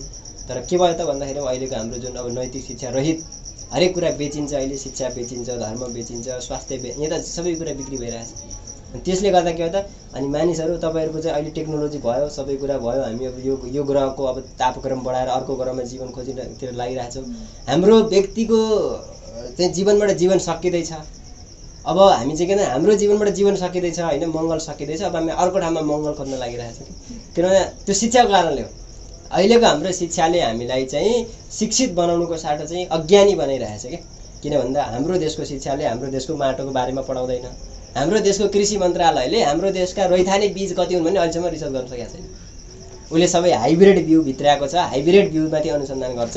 हाम्रो देशको हिमाली भेगमा कुन हुन्छ मध्य पहाडमा के हुनुहुन्छ तराईमा त्यो काम गर्नु पर्थ्यो हाम्रो देशको संस्कृति मन्त्रालयले हाम्रो चाहिँ हिमालमा कति प्रकारका संस्कृति छन् पहाडमा कति प्रकारका संस्कृति छन् तराईमा छैन। बाहिरको जे बाहिरको ल्याएर त्यो लेखिदिन्छ एउटा चाहिँ चाहे त्यो थेसिस लेख्छ अनि त्यही इतिहास हुन्छ। एउटा बाहिरको गोरे आएर यहाँ बस्छ दुई चार वर्ष अनि उसले लेखेको थेसिस अनि उसले अक्सफोर्ड क्यामरा बनाएछ त्यो ठुलो हुन्छ। तर यहाँका हाम्रा बाबुबाजेहरू जसलाई अङ्ग्रेज आउँदैन उसले उनका कुरा चाहिँ हाम्रालाई पच्य हुँदैन नि त। किनभने हामीले उनको भाषा बुझ्न छोडिसक्यौँ। हामीले अहिले हाम्रो नेपाली भाषा नै बुझ्दैनौँ होइन। अब हामीलाई नेपालीमा अङ्क भन्नु पर्यो भने आउँदैन अङ्ग्रेजीमा भन्नुपर्ने अवस्था छ। हामी कहाँ पुगिसक्यौँ? त्यही भएर हामी त लङ्गडा भइसक्यौँ। खुट्टा छ लङ्गडा छौँ आँखा छ तर अन्धा छौँ। हामीसँग सबै चिज छ। हाम्रो बाबुबाजे त्यो सबै चिज हामीले अध्ययन पनि गरेन अनुसन्धान त परै जाओस् हामीले अहिले भनिहाल्यो नि हाम्रो वैदिक गणितको बारेमा हामीलाई केही पनि थाहा वैदिक गणित यति एडभान्स छ। वैदिक तपाईँको चाहिँ चिकित्सा पद्धति हाम्रोसँग शल्यक्रिया पद्धति पनि छ सबै छ। अब हाम्रो वैदिक पद्धति अनुसार चाहिँ रोगलाई जरैबाट निकाल्ने पद्धति अहिलेको पद्धति अनुसार चाहिँ दबाई खाएर त्यसलाई चाहिँ रोकिरहने। होइन त्यसको चाहिँ मेन जडमा नगएर मान्छेलाई एकछिनको लागि चाहिँ त्यसलाई छोपिरहने। तर रोग त जस्ताको तस्तै बस्छ। तर यो चाहिँ शिक्षालाई अहिले संसारभरि हाम्रो दर्शनले एउटा कुरा के भनिदियो भने शिक्षा र स्वास्थ्य चाहिँ कहिले पनि नबेच्नु भनिएको छ क्या। मतलब त्यही भएर हाम्रा पहिला पहिलाका गुरुकुलहरूमा नि शुल्क रूपमा पढाइ हुन्थ्यो। मतलब हाम्रो त गुरुकुलको व्यवस्था थियो नि त। गुरुकुलमा आयुर्वेदको बारेमा कृषिको बारेमा ज्योतिषको बारेमा वेदको विषयमा वेद पनि धेरै प्रकारका वेदको विषयमा सबै पढाइ हुन्थ्यो। पच्चिस वर्षसम्म होइन उपनिषद संस्कार गरिसकेपछि। अब अहिले त के भयो? सबभन्दा महँगो के छ अहिले तपाईँकोमा स्वास्थ्य र शिक्षा। हो कि? एउटा बच्चा जन्मिन्छ जन्मेदेखि उसको चाहिँ लगभग लगभग उसले चाहिँ ल अब चाहिँ यसले गर्छ भन्ने विषयमा जाने बेलासम्म उसले लाखौँ खर्च गर्नुपर्छ। अनि त्यो के हुन्छ त मान्छेको दिमाग पढ्दाखेरि यति खर्च गरेर सबैले कसरी कमाउने? जिन्दगी त्यहीँ जान्छ क्या। जिन्दगी बाँच्ने भन्दा पनि त्यसमा चाहिँ खर्च गर्दै सिद्धिन्छ जिन्दगी। त्यस कारणले त्यो कसरी भयो शिक्षाले। शिक्षामा विकार भयो। त्यही भएर अहिलेको हाम्रो नयाँ शिक्षाले गर्दाखेरि मान्छे त्यति गरेर पनि र त्यति प्राप्त गरेर पनि फेरि खुसी छैन। होइन अहिले त हाम्रो तपाईँको हेर्नु होला संसारभरि रिसर्च बेला बेलामा भइरहेछ। चारजना मान्छेमा तिनजना मान्छे रोगी छ। होइन? अनि हरेक साल सुसाइड गर्ने रेसहरू बढी बढिरहेको छ कि रेसियोहरू? डाटाहरू बढिरहेको छ। नेपालमा पनि बढिरहेको अहिले। अनि हामी कहाँ गइरहेछौँ हामी चाहिँ विकसित भएर चाहिँ के हो? विकसनमा त्यो सुसाइड गर्ने रेट चाहिँ घट्नु हो। हामी खुसी आनन्दित हुने रेट चाहिँ बढ्नु हो कि होइन? प्राकृतिक रूपमा चाहिँ त्यो हाम्रो प्रकृति चाहिँ को तापक्रम नबढ्नु। त्यो त्यो हो नि त विकास भने त। तर अहिले त हाम्रो त्यो छैन। हाम्रो के भइरहेछ त? जन्मेपछि जन चाहिँ हाम्रो के भइरहेछ त? त्यो बढिरहेछ हो त्यसो भएपछि के भयो त भन्दाखेरिमा यसको पछाडि शिक्षाको ठुलो हात छ। होइन आज हिजोका दिनमा हाम्रा चाहिँ ऋषिमुनिहरूले प्रकृतिलाई कसरी जलवायु परिवर्तनबाट जोगाउने भन्ने कुरा सोचेरै के भने त ठाउँ ठाउँमा बर पिपलका रुखहरू रोप्नु ठाउँ ठाउँमा कुवा खन्नु भनेपछि त्यहाँ पानी उत्पादन गर्ने रुखहरू चाहिँ लगाइरहनु। होइन घर घर घरभित्रै पनि जस्तो हामीले तुलसीलाई चाहिँ यति नजिक ल्यायो पुसलाई हरेकचोटि चाहिँ घरमै ल्याएर हामीले राख्यौँ हजुर मिल्छ। हामीले चाहिँ तर अहिले के हो त त्यो कुरा हाम्रो शिक्षाले सिकाएन। के भयो त? त्यो शिक्षाले चाहिँ हामीलाई सिकाएन। हाम्रो हाम्रो शिक्षाले के सिकायो त? हाम्रा पुर्खाहरू जङ्गलमा बस्थे के अरे गुफामा बस्थे काँचो मासु खान्थे हाम्रो त्यस्तो सिकाइदियो उल्टो उल्टो नभएको कुरा। त्यो त्यो कुरा चाहिँ अब हामीले चाहिँ अलिकति जागृत भएर किन मैले अहिले भने नि हाम्रो जति पनि पौरुषीय ग्रन्थहरू छन् नि होइन अब वेदकै विषयमा कुरा गरौँ अथवा आयुर्वेदकै विषयमा ग्रन्थका कुरा गरौँ होइन वाघभट्टले लेखेको चाहिँ तपाईँको अष्टाङ्ग हृदय भन्ने एउटा ग्रन्थ छ। वाघभट्ट जो एकदम आयुर्वेदका ठुला। अनि हाम्रो हाम्रो चाहिँ कल्चरले यो तपाईँको पारो साधना र नाथ दर्शन पनि यो पारो साधनामा नाथ दर्शनका सिद्धहरू चाहिँ धेरै अगाडि थिए होइन? अनि त्यो बौद्ध दर्शनका तपाईँको पनि त्यहाँ पनि भेटिन्छन्। अर्थात् चाहिँ तपाईँको जसरी पनि हाम्रो लक्ष्य के थियो भन्दा जहिले हामीले मन्दिर बनाए पनि हामीले हाम्रा कल्चरहरू संस्कृति मानेर जीवनलाई कसरी चाहिँ आनन्दमय तरिकाले जिउने हामीलाई परमात्माले यहाँ जन्म दियो यो प्रकृति दियो यो चिजलाई धन्यवाद कसरी दिनु त एउटा सूर्य उदाइरहेछ होइन? डेली उदाइरहेछ कि? सूर्यले यत्रो प्रकाश संसारलाई दिइरहेछ। त्यो सूर्यले केही पनि खोजेको छैन। होइन? हामीले एक हामीले चाहिँ हाम्रो कल्चरले के भन्यो भन्दाखेरिमा जीवनलाई चाहिँ हामीले अरूका प्रति सम्मान गर्न सिकेपछि के हुन्छ त भन्दाखेरिमा आफूका प्रति पनि एउटा खुसी उत्पन्न हुन्छ जस्तो हामीले एउटा कोही कति राम्रो फुल फुलेको देख्दा एकछिनको लागि हामीलाई राम्रो लाग्छ। कोही सानो एउटा चाहिँ गाईको बाछो अथवा चाहिँ कुनै जनावरको राम्रो भर्खर जन्मेको चाहिँ एकदम सुन्दर लाग्छ नि हामीलाई। मान्छे पनि भर्खर जन्मिँदाखेरि कति सुन्दर हुन्छ। तपाईँले ख्याल गर्नुभएको छ? त्यो भर्खर जन्मेको बच्चोले सबलाई आकर्षित गर्छ कि सम्मान गर्छ? तर त्यही बच्चो तिन वर्ष चार वर्ष पाँच वर्ष दस वर्ष पन्ध्र वर्ष त्यसलाई झि- झ्या- झिन्झ्याट लाग्छ हामीलाई हेर्न। किन भन्दा त्यसमा हामीले चाहिँ अनावश्यक कुराहरू थोपर दिन थाल्छौँ। यो तेरो यो मेरो यो शत्रु यो मित्र यो खा यो नखा त्यहाँ जा यहाँ नजा। गर्दा गर्दै अब त पिँजडाभित्र घेरिन्छ क्या। सुरुमा केही पनि थिएन उसँग केही लेस लागेको थिएन नि त। त्यति बेलासम्म सुन्दर थियो। योगीहरूले के भन्छन् भने हो त्यस्तै भएर बाँच्नु पर्छ। त्यो बच्चा सुन्दर किन छ भन्दा त्यसमा चाहिँ अनावश्यक किसिमको बोझ छैन नि त। चाहिने भन्दा बढी भारी छैन नि त। हो त्यो चिज चाहिँ शिक्षाले दिनु पर्थ्यो त्यो शिक्षाले दिएन। र हाम्रो नाथ दर्शनको नाथ पद्धतिको मत अनुसार चाहिँ यो सुधार चाहिँ आमूल सुधार माथिबाट नै हुनुपर्छ। अर्थात् राजा सुध्रेपछि प्रजा सुध्रिन्छ शासक सुध्रेपछि तिनीहरू शासकले जो राज्य गर्छन् तिनीहरू सुध्रिन्छ। त्यसकारण जहिले पनि बिग्रेको बेलामा शासकहरूले बाटो बिराएको बेलामा नाथ योगीहरू आएर अनि उहाँहरूले चाहिँ त्यो कुराको उनीहरूलाई दर्शन पद्धतिको विषयमा बताइदिनुहुन्छ। त्यसरी हामीले चाहिँ नेपालमा नाच संस्कृतिको बारेमा अध्ययन गरि गरिसकेपछि त्यो नाच संस्कृतिले कसरी अरू अरू संस्कृति जन्मायो त? आज हामीले भारतवर्षमा गुरु नानकको परम्परा देखिरहेछौँ अब कवीरको संसारमा सबैभन्दा एकदम निर्गुणको परम्परा जो कवीरको छ त्यसमा पनि गोरखनाथ परम्पराको मूल छ। होइन? त्यसपछि अब दादुको भयो पल्टुको भयो मिराको भक्तिको परम्परा। राजयोग होस् हठयोग होस् लयोग होस् सबैका चाहिँ अध्यताको रूपमा चाहिँ गोरखनाथलाई मानिन्छ। र विशेष गरी हामीले गोरक्षनाथ भन्ने बित्तिकै चाहिँ अब गौ शब्दका हाम्रो उसमा चाहिँ एघारवटा भन्दा बढी अर्थ बताइएको छ। एघारवटा अर्थ चाहिँ धेरै ठाउँमा भेटिन्छ। र विशेष गरी योगीले चाहिँ गौ भन्ने बित्तिकै चाहिँ आफ्ना इन्द्रियहरूलाई जसले आफ्ना इन्द्रियहरूलाई रक्षा गर्न सक्छ त्यो चाहिँ के भयो त? गोरक्ष हुनसक्छ। अब इन्द्रियको रक्षा कसरी गर्ने? भन्दाखेरिमा हामीले हाम्रा इन्द्रियहरूलाई चाहिँ आफू चाहिँ इन्द्रियको दास नभएर इन्द्रियलाई चाहिँ हाम्रो दास बनाउनु पऱ्यो क्या। अर्थात् यो जिब्रोलाई कुनै पनि स्वादको पछाडि नलगाएर स्वादलाई चाहिँ आवश्यकता अनुसार मात्रै सेवन गर्ने हाम्रो अभ्यास हुनु पऱ्यो कि होइन? त्यस कारणले चाहिँ हामीमा त्यो भयो भने बल्ल हाम्रो अनुकूलको स्वास्थ्य हुनसक्छ। त्यो नै शिक्षाको उपज हो त्यो नै संस्कृतिको उपज हो। हाम्रा संसारमा हामीले जे जे प्रगति गरे पनि के का लागि गर्यो भन्दा हामीले प्राप्त गरेको जीवन हामीले प्राप्त गरेको यो प्रकृतिलाई हामीले जसरी प्राप्त गऱ्यौँ हामी जाने बेलासम्म पनि त्यस्तै तरिकाले राख्न सकियोस्। यो हाम्रो कन्सेप्ट चाहिँ त्यो हो। त्यसका त्यही कन्सेप्टका लागि नै मठ मन्दिर बनाइएका यी हाम्रा ल्याबहरू हो नि त। हामी यहाँ आएर हामीले चाहिँ भगवान्लाई पूजा गर्नु त्यही प्रतिमाहरूको अनुष्ठान गर्नु जो विषय छ नि त्यो चाहिँ त्यो परमात्माभित्र पनि हामीभित्र भएको त्यस्तै तत्त्व छ। त्यसलाई चाहिँ हामीले आफूतिर फर्कनको लागि हामी यहीँ आए पनि भगवान्को मन्दिरमा जाँदा पनि त आफैतिर फर्केर दर्शन गर्छौँ। हामी त्यहीँ गएपछि के आँखाचीमा गर्छौँ। त्यो भनेको के हो त त्यहाँ गएर कमसेकम अन्त घुम्दा फिर्दाखेरि त्यो चेतना नआए पनि मन्दिरमा जाँदा त्यो चेतना आओस् कि आफूतिर फर्कियोस् हामी देउताकै दर्शन गर्न भने यसो आँखाची मरेर त्यो त्यो गएर कहाँ? त्यो कहाँ फर्क्यो भने भित्र फर्क्यो हामी। कमसेकम हामीले चाहिँ अब विज्ञान पढ्ने विद्यार्थीले हाइड्रोजन अक्सिजनको रियाक्सन गर्ने ल्याब भए जस्तै यो चाहिँ जीवनको चाहिँ रियाक्सन गर्ने रियाक्सन गर्ने प्रतिक्रिया प्रतिक्रिया गराउने। ध्यान हामीले ध्यानको जो पद्धति विकास गऱ्यौँ संसारको सबैभन्दा उत्कृष्ट चाहिँ यो एउटा उपलब्धि मान्नुपर्छ क्या ध्यानलाई जसले जहाँबाट आयो। अहिलेसम्म त्यस्तो चिज चाहिँ उत्पत्ति हुन सकेको छैन जो ध्यानसँग कम्पेरिजन गर्न सकियोस् किनभने हरेक चाहिँ समस्याको समाधान ध्यानमा छ कि। चाहे त्यो सङ्गीतको विद्यार्थी होस् चाहे त्यो योगको विद्यार्थी होस् चाहे त्यो तन्त्रको विद्यार्थी होस् चाहे त्यो आयुर्वेदको विद्यार्थी होस् जसलाई पनि ध्यान काम लागिरहेको छ चाहे त्यो संसारमा जुनसुकै धर्म मान्ने व्यक्ति होस्। किन भन्दा त्यो ध्यानको पहिलो कामै के हुन्छ भने मानव यो जीवनलाई चाहिँ जिउने कलासँग चाहिँ परिचित गराइदिने काम गर्छ कि ध्यानले। र योगीहरूले चाहिँ जहाँ पनि तपाईँले हेर्नुभयो भने होइन गीतामा पनि के भन्नुभयो त भगवान् कृष्ण अर्जुन तस्मात योगी भव अर्जुन। अर्थात् सबै कुरा ज्ञान सङ्ग्रह गर्यो त्यो सबै कुरा त्यसलाई अन्तिम बनिएको त योगी।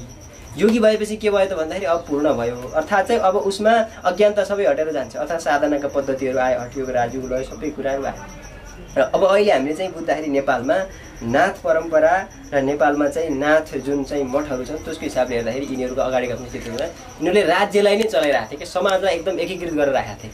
समाजमा जातीयताको विषयमा संस्कृतिको विषयमा धर्मको विषयमा यस नेपालमा चाहिँ तपाईँले कहिले पनि झगडा भएको भेट्नुहुन्न। त्यो मिलाएर राख्ने काम पनि के गरेको थियो त? नाथ दर्शनले गरिरहेको थियो। अर्थात् एउटा चाहिँ तपाईँले भारतमा भेट्नुहुन्छ कहिले मुसलमानको कहिले हिन्दूको कहिले चाहिँ त्यसैमा पनि हिन्दू भनेको भित्र पनि शैव मत र वैष्णव मतमा लडाइँ भएका घटनाहरू भेटिन्छन् तर यहाँ त्यो कुरा भेटिँदैन। किन भेटिँदैन भने हाम्रो चाहिँ वैदिक साम्यवादको दर्शन। अर्थात् तपाईँले भगवान् शिवजी र पार्वतीको एउटा चित्र देख्नु भएको छ होला। जुन चित्रमा शिवजीको एउटा जहाँ चाहिँ सर्प पनि त्यही छ मुसो पनि त्यही छ मयूर पनि त्यही छ सिंह पनि त्यही छ गोरु पनि त्यही छ। अब यो संसारमा हेर्दाखेरि अपोजिट कुरा छ क्या मतलब सर्पले मुसालाई पायो भने खान्छ कि खाँदैन? थाहा छ नि तपाईँलाई? मयूरले सर्पलाई पायो भने खान्छ। अनि सिंहले चाहिँ त्यो गोरुलाई पायो भने नन्दीलाई पायो भने खान्छ। तर हामीसँग यस्तो दर्शन छ जुन दर्शनले चाहिँ त्यो सर्प र मुसा बिच पनि मित्रको जस्तो व्यवहार उत्पन्न गरिदिरहेछ त्यो मयूर र सर्पका बिच पनि त्यो मिलनसारको भाव उत्पन्न गराइदिरहेछ त्यो दर्शन भएको हुनाले यहाँ त्यस्तो दर्शनमा आधारित भएर हामी बाँचेको हुनाले यहाँ कहिले पनि झगडा नहुने लडाइँ नहुने। तर अहिले चाहिँ के त भन्दा विदेशी विद्यार्थीहरूले त्यो लडाइँ होस् भन्ने चाहिरहेछन्। त्यसैले कसैलाई मङ्गोल तिमीहरू मङ्गोल हो तिमीहरू हिन्दू होइनौ तिमीहरू सनातनी होइन किनभने त्यो तिनीहरू फुट्यो भने त उनीहरूलाई चाहिँ झगडा गराउन सजिलो हुन्छ अनि अलग अलग गराइदिने। हाम्रो हाम्रो लक्ष्य भने चाहिँ के भन्दाखेरिमा त्यहाँ हामी मिलेर बस्ने हो। हाम्रो चाहिँ जति पनि चाहिँ अगाडिका मल्लकालहरूमा तपाईँको मुसलमान भारतबाट आइसकेपछि जस्तो औरङ्गजेबको पालामा तपाईँको यहाँको हाम्रो पशुपतिनाथदेखि लिएर यता बसन्तपुर देवघाट पाल्पा धेरै ठाउँमा मन्दिरहरू तहस नहस पनि गरायो। तपाईँको चाहिँ अनि त्यसपछि यहाँ काठमाडौँमा आएर रातारात जबरजस्ती मान्छेलाई मुसलमान पनि बनायो। कयौँ मान्छेलाई मुसलमान बनायो? तर पछि फेरि तुरुन्तै तिन राज्यका राजाहरू सबै मिलेर उनीहरूलाई लखेटै यहाँबाट पठायो औ- औरङ्गजेबको सेनालाई। पछि फेरि अनि धर्मगुरुहरूले के गर्यो भन्दा रातारात जो जसरी चाहिँ मुसलमानले जबरजस्ती उनीहरूलाई चाहिँ मुसलमान बनाएको थियो हिन्दूलाई फेरि अनि हाम्रो गौ धर्म आदि अ, त्यो चाहिँ प्राश्चित्य गरेर होइन गौदान आदि प्राश्चित्य गरेर फेरि सनातनमा फर्काइयो तर भारतमा त्यो कुराको विचार नगरिदिनाले जति बेला कति पनि अहिले चाहिँ तपाईँको मुस्लिमभित्र चाहिँ सबै पहिला के हो त सनातनी हुन्। उनीहरू सनातन धर्ममा फर्किन्छु भन्दाखेरि पनि त्यहाँका चाहिँ पण्डितजीहरूले त्यहाँका चाहिँ धर्मगुरुले त्यो कुरा बुझिदिनु भएन ल अब तिमीहरू मुसलमान भइसक्यो तिमीहरू हिन्दू हुन सक्दैनौ। त्यसले गर्दा भारतमा त्यो फैलियो। कसरी चाहिँ काठमाडौँमा त्यो बेलामा पनि भनाइअनुसार चाहिँ पचास हजार साठी हजार मुस्लिम बनेको थियो कि एकै रातमा। तर धर्मगुरुले तुरन्त त्यसलाई चाहिँ फेरि फर्काइसक्यो त्यो बढ्न पाएन। नत्र अहिले काठमाडौँ जस्तो यो संस्कृति मागिरहने बेला थियो। त्यसलाई मिलाएर रा राख्ने काम भयो। अर्थात् धर्म र संस्कृतिको एउटै काम हो समाजलाई चाहिँ मिलाएर राख्ने। समाज मिलेर बसेपछि शान्ति हुन्छ प्रेम हुन्छ करुणा हुन्छ दया हुन्छ एकदम सद्भाव र सद्भावना। संसारको संसारमा हामीले गरेको विकास गरेको टेक्नोलोजीले त्यो दिनुपर्छ कि हामीलाई। संसारमा हामीले विकास गरेको टेक्नोलोजी हामीलाई मिलेर बस्न सिकाउँदैन भने त्यो टेक्नोलोजीको कामै छैन कि अहिले हामीले जो बनाइरहेछौँ मिसाइल बनाइरहेछौँ बम बनाइरहेछौँ पश्चिमले बनाइरहेछौँ त्यसको काम के हो? फुटाउने होइन लडाउने होइन झगडा गराउने होइन। आज युक्रेनमा हेर्नु के भइरहेछ? हजारौँ वर्ष अगाडिका पुराना सहरहरूलाई कसरी ध्वस्त बनाइदिन्छ त्यहाँ पनि त एउटा कल्चर थियो नि त्यसले के दियो त भन्दा यो अहिलेको शिक्षाको उपज हो। त्यस कारणले जब शिक्षा बेचिन्छ स्वास्थ्य बेचिन्छ जीवनै बेचिन्छ जीवन बेच्नका लागि होइन त। जीवन त जिउनका लागि हो नि त। हो त्यो जीवन जिउनका लागि ल्याइएको दर्शनको रूपमा नेपालमा नाच दर्शन हो। अर्थात् हरेक कुरा प्र्याक्टिकल्ली हुनु पऱ्यो थ्योरी भनेको लाइफमा टेन पर्सेन्ट छ भने नाइन्टी पर्सेन्ट चाहिँ प्र्याक्टिकल्ली हुनुपर्छ। र जो प्र्याक्टिकल्ली भनेको के हो त लाइफ भनेको त्यो प्रेजेन्ट हो क्या वर्तमान हो। हामी जिउने वर्तमानमा हो। र हाम्रो वर्तमान सही छ भनेपछि हाम्रो फ्युचर पनि ठिक हुन्छ र पास्ट पनि ठिक हुन्छ। अर्थात् आजको हाम्रो वर्तमान नै भोलिको दिनमा पास्ट बन्छ नि त।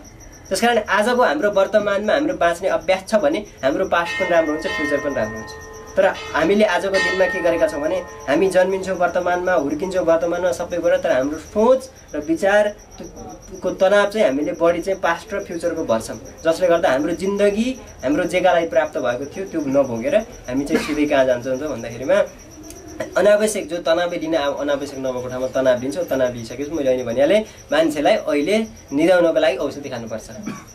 ठिकै थियो जाग्नका लागि औषधि खान त राम्रै कुरा थियो होइन?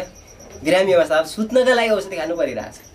हेर्नुहोस् है अनि संसारमा अहिले जति पनि तपाईँले विकसित भनिरहनु भएको छ एकदम एडभान्स टेक्नोलोजीहरू आएको छ सबै कुरा बनेको छ तर मान्छेहरूलाई अब चाहिँ के छ भन्दा सानसानो कुरामा मर्ने इच्छा जागिरहेको छ। भनेको जीवनप्रति यति घृणा पैदा भयो कि उसले एउटा परीक्षामा फेल हुन्छ उसलाई आत्महत्या गर्न मन लाग्छ। एउटा सामान्य सामान्य अब भनौँ न तपाईँको अझै अरू अरू देशमा त भनौँ न त्यहाँका चाहिँ न्यायाधीशदेखि लिएर त्यहाँका चाहिँ अर्थमन्त्रीहरूदेखि लिएर त्यहाँका प्रोफेसरहरूदेखि लिएर एक्टरहरू अझै बढी जसले संसारलाई चाहिँ ड्रामाहरू गरेर जी प्रेरणा दिने काम गर्छ उनीहरूले आत्महत्या गरिरहेका केसहरू तपाईँले सुन्नु होला। तर हाम्रोमा विगतका दिनसम्म हाम्रा गाउँघरका आमा बुवा हजुरबुवा हजुरआमाहरूले कसैले आत्महत्या गरेका केस चाहिँ बहुत कम हुन्थ्यो। किनभने हामी मिलेर बसेका थियौँ कि? हाम्रो संयुक्त परिवारको दर्शन भनेको के हो भन्दाखेरिमा हरेक कुरा हाम्रा साटासाट हुन्थे। त्यो घरमा एउटा नाति पनि थियो त्यो घरमा एउटा छोरो पनि थियो त्यो घरमा एउटा आमा बाबु पनि थियो हजुरबा पनि थियो अझै हजुरबाका बुवा पनि हुन्थे। भनेपछि त्यहाँ धेरै कुरा एकै ठाउँमा सिक्न पाइन्थ्यो। अहिले हामीले के गर्यौँ त? अलिकति ऊ हुने बित्तिकै अलग्गै घर बनाएर बस्ने बाबामासँग नबस्ने। त्यसपछि के त? अझै अलिकति बाहिर जाने। बाहिर गएपछि के भने त बाबामालाई यता वृद्धाश्रम राख्ने आफू चाहिँ बाहिरी गर्ने हामी त्यसलाई चाहिँ के त्यो भने हामीले त्यसलाई के भन्यौँ त करियर भन्यौँ। त्यो करियर होइन। हामी जीवनको ओह्रालो लाग्यौँ क्या हामी त ऊर्ध्वगामी हुनु पर्थ्यो नि त। किनभने हाम्रो त्यो संयुक्त परिवारको जुन दर्शन थियो त्यो संयुक्त परिवारको दर्शनले त सत्तरी वर्षको बुढो मान्छे र चाहिँ पाँच वर्षको नातिको बिचमा एउटा सम्बन्ध जो बनिरहेको थियो नि त्यो सत्तरी वर्षको हजुरबाले त केही न कुरा कुरा सत्तरी वर्ष पुगन्जरी जाने हुन्छ नि त। त्यो हजुरबा घरमा हुँदा त्यो नातिले त धेरै कुरा सिक्न पाउँछ नि त। अब त्यही कुरा सिक्नलाई त अब क्याम्ब्रिज र यो, अ, अक्सफोर्डमा जानु त पर्दैन नि त उसलाई त। घरमै थियो क्या सबै कुरा? त्यो चिजको उपजको रूपमा चाहिँ नाथ दर्शन हो। त्यो चिजको उपजको रूपमा चाहिँ सनातन दर्शनभित्रको एउटा बहुत फराकिलो दर्शन होइन? सनातन दर्शनभित्र धेरै परम्पराहरू छन्। त्यसमध्येको नेपालमा चाहिँ अगाडिदेखि त्यसले त्यो भूमिका खेलेर आएको छ। यसको विषयमा चाहिँ हजुरले मैले अघि नै भनिहालेँ राष्ट्रिय गुरु योगी नरेन्द्र नाथजीले लेख्नुभएका धेरै कृतिहरू तपाईँले अध्ययन गर्नुपर्ने हुन्छ। जस्तो हाम्रो यहाँ पुस्तकालय छ त्यहाँ हजुरले समय मिलाएर आएर केही त्यस्ता बुकहरू छन् होइन? जस्तो मैले भने इतिहास प्रकाशमा सन्धिपत्र सङ्ग्रह होइन? त्यसपछि मेरो ऐतिहासिक शिखरिणी यात्रा भयो पशुपति मतम। अब हामी पशुपतिको देशमा बसेर पशुपतिनाथको दर्शन हामीलाई थाहा छैन होइन? पशुपतिको नाथको देशमा यत्रो छ होइन? देशको आराध्य देव पशुपति नाथ हुनुहुन्छ। कुनै बेला पशुपतिनाथको चाहिँ जसरी चाहिँ तपाईँको चाहिँ पशुपतिको जय पशुपति सरकार। जस्तो पशुपतिनाथको स- पैसामा पनि सबभन्दा अगाडि त्यो हुन्थ्यो सिक्काहरू हुन्थे। जसरी गोरखनाथ बाबाको हुन्थ्यो बिचमा श्री श्री गोरखनाथ बिचमा श्री भवानी भनेर हुन्थ्यो। भनेको त्यो पैसाहरू पनि के अरे श्रीयन्त्रको आकारमा बनाएको हुन्थ्यो। संसारमा यस्तो हो भारत पनि त्यति हामी चाहिँ अहिले हाम्रो भारतमा धेरै कल्चर छ सनातन धर्मका धेरै सम्प्रदायहरू छन् तर त्यहाँ पनि जति बेलासम्म एउटा देउताको नाममा त्यो निस्किएको थिएन। यहाँ चाहिँ त्यो चिजलाई घर घरमा पुर्याएको थियो। भनेको हाम्रो हाम्रो सोच हाम्रा कल्चरहरू हाम्रा संस्कृतिहरूको उपज के थियो भने जताबाट पनि जीवनमा मङ्गलताको चाहिँ स्थापना गर्ने के? होइन? चाहे त्यो राजा बनेर पनि उसले आफ्नो जीवनकालमा कति माङ्गलिक काम गरेर जान सक्छ राजा बनेर चाहिँ लड्ने र लडाउने कामका मात्रै चाहिँ राजा बन्ने होइन। त्यो उपज भएको भए काष्ठमण्डप आज संसारका मान्छेहरू आएर हेर्छन् होइन जस्तो पाटनदेखि लिएर पशुपत क्षेत्रमा। तिनीहरू मान्छेहरू हामीलाई हेर्न आउने नि त। यहाँका मान यहाँ भएको त त्यति चिज हेर्न उनीहरू आउँछन्। उनीहरूले जसरी जे बुझेर जान्छन् त्यो आफ्नो ठाउँमा छ। हामीले उनीहरूलाई यसको वास्तविकता बुझाउन सकेका छैनौँ। यदि त्यो वास्तविकता बुझाउने हो भने त संसार हामी जस्तै बन्न चाहन्छ अहिले। पश्चिमले हामीबाट ठुलो आशा गरेको छ मतलब उसले पश्चिममा सबै कुरा देखिसक्यो। चकाचौँध विज्ञानको चकाचौँध पनि देखिसक्यो मान्छेको जीवनशैली देखिसक्यो सबै टेक्नोलोजीहरू सबै देखिसक्यो। तर त्यसलाई त्यो झ्याउलाइसक्यो अब। उसलाई जीवन चाहिएको छ। त्यही भएर एउटा पश्चिमको सर्वसम्पन्न व्यक्ति छोडेर आइरहेछ आश्रममा गइरहेछ अब साधु बन्न थालिरहेछ। उसले सुरु गर्दैछ। पश्चिममा तपाईँको चाहिँ त्यत्रो साह्रो हामीले सोचिरहेछ नि त ओहो पश्चिमको जीवन कस्तो मजाको छ। त्यहाँ त लाइफ छ भन्दै हामीले चाहिँ युरोप अमेरिका अस्ट्रेलिया जहिले पनि हाम्रो त धेरैको अहिलेको युवाको सोच त त्यही छ। तर उनीहरूले त्यो त्यहाँ बाँचेर जन्मेका हुर्केका मान्छेलाई चाहिँ त्यो अब एकदम इरिटेट भइसक्यो कि? भनेको त्यहाँ जिन्दगी जिउनुको त्यहाँ कुनै छैन किनभने हरेक सालमा एघार वर्षकोदेखि लिएर अस्सी नब्बे वर्षको मान्छेले आत्महत्या गरेको छ। त्यही अमेरिकामा। अमेरिकाकै सबैभन्दा होइन सोसाइटी इन अमेरिका भन्ने एउटा मैले केही समय अगाडि एउटा बुक पढेको थिएँ। त्यसमा हेरेको अमेरिका जसलाई संसारमा मानव अधिकार भन्छ महिला अधिकार भन्छ के के भन्छ उसकै देशमा सबभन्दा बढी मान्छे आत्महत्या गर्छ। होइन? अब चाहिँ यस्तै गरी चाहिँ किन गरेर भन्दा नैतिक शिक्षालाई उसले प्राथमिकतामा राखेन। अध्यात्म भन्ने चिजलाई त स्वीकार्दै स्वीकार्दैन। त्यस कारणले हाम्रो सनातन दर्शनमा चाहिँ नि अध्यात्मलाई चाहिँ जीवनको अङ्ग बनाइयो। अध्यात्मले चाहिँ जीवनलाई खोज्न सिकायो। जीवनमा आइपर्ने हरेक किसिमका समस्याहरूलाई चाहिँ एक्लै ट्र्याकल गर्न सिकायो क्या। सानो सानो समस्या समस्या भन्दा चाहिँ तपाईँको चाहिँ जीवनभन्दा ठुलो समस्या हुँदैन क्या। हाम्रो कहाँनिर हामीले गल्ती गर्छौँ भने समस्या आफैमा कहिले पनि समस्या हुँदैन। तर समस्यालाई जब हामीले समस्या बनाउन थाल्छौँ त्यसपछि समस्या सुरु हुन्छ कि? जस्तो तपाईँ चाहिँ हिँड्दै हुनुहुन्छ बाटामा पुलबाट अचानक चाहिँ पानीको नदीमा खस्नु भयो क्या त्यो कुनै ठुलो समस्या होइन। समस्या त्यति मात्र हो तपाईँलाई पौडिन आएन भने मात्रै समस्या हो नि त। पानीमा खस्नु त समस्या होइन तर हामीले त खस्नुलाई ठुलो समस्या बनाएको छौँ कि। ओहो ल समुद्रमा खस्छ तर पौडिन आउँछ त मजाले निस्किन सक्छ नि त। तर पौडिने कला चाहिँ हाम्रो दर्शनले सिकायो। तर तिम्रो जीवनमा तिमी चाहिँ गृहस्थीमा जाऊ चाहे साधु बन। तिमी त्यसलाई चाहिँ ननकार हाम्रो दर्शन त्यसो भन्दैन। तिमी गृहस्थमा छौ भने त्यो गृहस्थीको असली गृहस्थ बन्ने तरिका के हो त? त्यतातिर जा जसरी पनि प्रकृतिमा प्राप्त गरेका हरेक चिजलाई चाहिँ एकदम वर्तमानमा रहेर पालन गर र पछि तिमीलाई चाहिँ त्यो फर्किन नपरोस् त्यहाँ। होइन? त्यसरी त्यो पुरा मजाले कम्प्लिट गरी नै त्यसलाई अनुभूतिसहित भोग भन्छ क्या। त्यसकारण त्यो तन्त्रको त्यो दर्शनमा आधारित रहेको कतिपय त्यो विवादित पनि भयो होइन त्यसमा भएको वाम मार्गले गर्दाखेरि पछि गएर त्यो अप अलिकति समाजले पचाउन नसक्ने खालको पनि भयो। पछि गएर बलिका कुराहरू थपिँदै गए यस्ता कुरा आए ती चाहिँ पछि त्यसमा धुलो जम्दै आयो। त्यसमा सिकाउने खालका धर्मगुरुहरूको कमी भयो। हामीले चाहिँ इतिहासमा त्यो गलत कुराहरू पनि थपिँदै गएको कुरालाई छुट्याउन सकेनौँ। जसको कारणले गर्दाखेरि अहिले समाजमा हामीलाई चाहिँ पश्चिममा विशेष गरी चाहिँ के त हामीलाई चाहिँ अन्धविश्वासी अझै हामीलाई के भनेर लाइन्छ उनीहरू अहिलेका चाहिँ महिला अधिकारवादीहरूले कि हिन्दूहरू त एकदम चाहिँ तपाईँको सनातनीहरू चाहिँ महिलाहरूलाई चाहिँ दमन गर्थे। भनेर भन्छ नि होइन? अब हेर्नुहोस् है जुन जुन कल्चरमा तपाईँको स्त्रीहरूलाई चाहिँ सबैभन्दा माथि राखेर पूजन गरिन्छ। आज तपाईँले काठमाडौँमा हेर्नुभयो भने शिवका भन्दा धेरै पनि मन्दिरहरू देवीका छन्। देवीका मन्दिरहरू धेरै। आज गुहेश्वरी पीठ छ बङ्गलामुखी तपाईँको चाहिँ दक्षिणकाली गोरखकाली छिन्नमस्ता जति पनि हेर्नुहुन्छ त्यो शक्तिको शक्तिलाई चाहिँ सबैभन्दा प्राथमिकता राख्ने हाम्रो दर्शन। होइन हिजोका दिनमा अझै अहिले के भनिन्छ अझै हामीले बहुविवाहको दोष लाउँछन् के अरे हामीलाई उसमा बहुविवाह र बाल विवाहको हेर्नुहोस् है के अरे हामीलाई बा- बाल विवाह बढी गराउने भनेर हिजो हामीले हेरौँ हाम्रो चाहिँ वैदिक वेद परम्परा अनुसार चाहिँ पच्चिस वर्ष नपुगिकन बिहा गर्ने पाइने भनेको छ। चाहे स्त्री होस् चाहे पुरुष पच्चिस वर्ष नपुगिकन तपाईँले बिहा गर्नै पाउनुहुन्न। गृहस्थी धर्ममा जानै पाउनुहुन्न। गृहस्थ आश्रममा प्रवेश गर्नै पाउनुहुन्न अर्थात् चाहिँ पच्चिस वर्षमा गुरुकुलमा बसेर पढ्नुपर्छ। भनेपछि जसले त्यो कन्सेप्ट ल्याएछ अनि उसले चाहिँ पच्चिस वर्षमा पच्चिस वर्ष पुगेर बिहा गर्नु चाहिँ पर्छ भन्ने पद्धति चाहिँ अब कसरी चाहिँ तपाईँको चाहिँ बहुविवाह गर्ने अथवा चाहिँ बाल विवाह गर्ने पद्धति भयो। तर हामीले अति नै गरेन। हामीलाई थाहै छैन नि त। हामीले हाम- अब तपाईँहरू हामी यहाँ हुनुहुन्छ कतिपय चाहिँ तपाईँको अब विभिन्न भाषासँग बिलोङ गर्नुहुन्छ कोही अब नेपाल घरबाट अथवा चाहिँ त्यही त्यही त्यही भाषा हामीलाई थाहा छैन धेरैलाई। त्यसको लिपिको त्यहाँ कुरा थाहा छैन होइन। अब अनि हामीले चाहिँ एउटा आउँछ खैरे अनि लेखिदिन्छ त्यो अङ्ग्रेजीमा जे लेखेको छ बस त्यही। सबै भएबारेको उसको भाषा यति सानो छ यति कम्प्लिकेटेड छ एकदम सङ्कुचित छ नि त। हाम्रो त शब्दकोश यति फराकिलो छ एउटै सूर्यका एक सय आठवटा नाम छ। त्यो बिहान उदाउने बित्तिकै त्यो सूर्यलाई के भन्ने हो? दस बजेपछि त्यो सूर्यको नाम के हुने हो? एक बजे अहिले के भन्ने हो? साँझ के भन्ने हो? एउटै पानीका सयौँ नाम छ। त्यो तीर्थको पानीलाई के भन्ने हो? भान्साको पानीलाई के भन्ने हो? पानीलाई के भन्ने हो? नालाको पानीलाई के भन्ने हो? सबैलाई फरक छ। त्यो कति चाहिँ व्यवस्थित छ त हाम्रो भाषा भण्डार पनि तर हामीले चाहिँ के गर्यौँ भने त्यसको अध्ययन गरेनौँ। हाम्रो देशका हामीलाई अध्ययन गराएन। है आज तपाईँले जो जहाँ हुनुहुन्छ यी सबै कुरा त तपाईँले घरमै सिकिसक्नुपर्ने कुराहरू खास भन्यो भने त। तर त्यो खालको हाम्रो शिक्षा भएन। किनभने शिक्षाले हामीलाई के गराइदियो त हामीदेखि आफूदेखि टाढा बनाइदियो हाम्रो बाबुमादेखि टाढा बनाइदियो। आजको नातिको कुरा अब हजुरबाले बुझ्दैन। आजको हजुर हिजोको हजुरबाको कुरा आजको नातिले बुझ्दैन। अब घरदेखि घरैबाट हाम्रा बालबच्चालाई त खोजेर लैगयो नि अहिलेको शिक्षाले। बाबाआमाले एकदम माया गरेर हुर्कायो मेरो छोरो यो बन्यो त्यो बन्यो अनि बाबाआमाले पनि त्यो कुरा अलिकति बुझेनन् कि ऊ छोरो जन्म्यो कसैलाई इन्जिनियर डाक्टर पाइलट। उनीहरूको फलानु त्यो त्यही भन्नुपर्छ। तर त्यो मान्छे जेका लागि जन्मेको त्यो बन्नुपर्छ भनेर भनिदिने बाबामा पनि कम भयो क्या? होइन? त जेका लागि जन्मेको त्यो बन्ने कोसिस गर। भन्ने चिज भन्दा पनि उनीहरूले चाहिँ आफूलाई जे जे देखे बाहिर बहुमतले जे गरे धेरैजनाले त्यही गरे गलत भने त्यही गर्नुपर्छ भन्ने खालको समाजको सोचाइ पढ्यो क्या।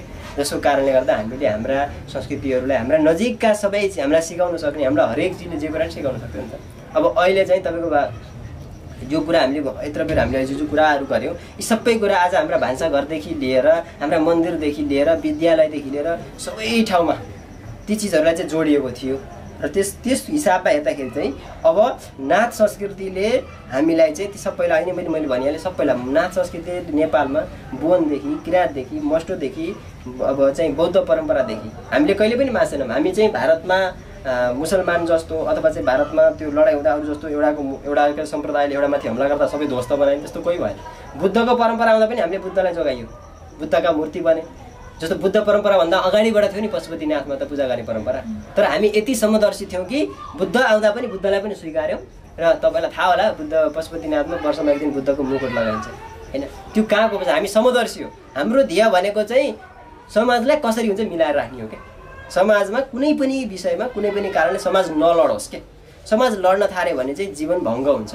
प्रकृति चाहिँ को आफ्नो जुन एउटा सिस्टम छ त्यो संरचना छ त्यो खलबलिन्छ प्रकृतिलाई नखलबलाउने र सबभन्दा राम्रो कन्सेप्ट भने चाहिँ के भने हामीले चाहिँ हामी जसरी जन्म जन्मदाखेरि जुन प्रकृति हामीले पायौँ नि आउनेले पनि त्यो खालको प्रकृतिको चाहिँ रूपरेखा देख्न पाओस्। होइन? अहिलेको त हाम्रो पश्चिमको दर्शनको त न तपाईँको केहीको पनि एउटा सिस्टम छैन क्या गृहस्थी जीवनमा गएर बच्चा पाउने विषयमा पनि अहिलेको दर्शन पश्चिमलाई केही पनि थाहा छैन। संसारमा अहिले अधिकांश बच्चाहरू केवल चाहिँ दुर्घटनामा जन्मिन्छ।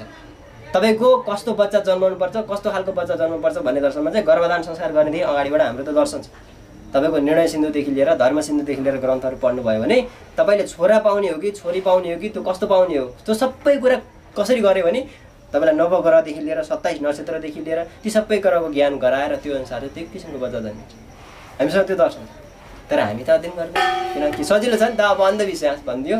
बास सजिलो हो अन्धविश्वास भनिदिएपछि सब अन्धविश्वास भनेको मान नमान्ने सजिलो। उनीहरूले भनेको कुरा अब हाम्रो फेरि यस्तो नराम्रो बानी लागेको छ। यहाँका हामीले चाहिँ हाम्रा सोझिले यसरी जुन कुरा यही कुरा हामीले अहिले मैले हजुरलाई भनिरहेको छु।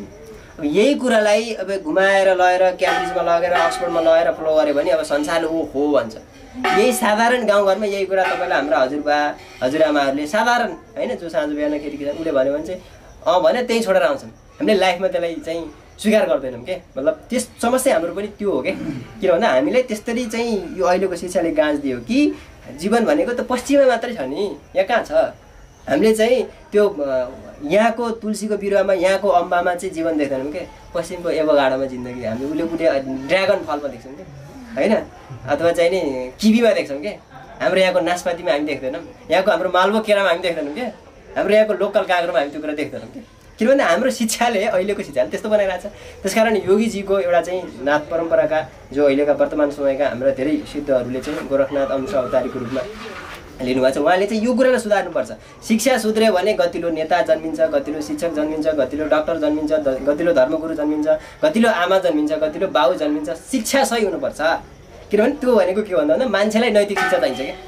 मान्छे त जनावर जस्तो त होइन नि त। मान्छे खाए खाएर मर्नको लागि मात्र जन्मियो होइन कि मान्छे प्रकृतिमा एउटा यस्तो चितनशील प्राणी उसलाई खुसी र आनन्दकै खोजी गरेर आउँछ जहाँ पनि।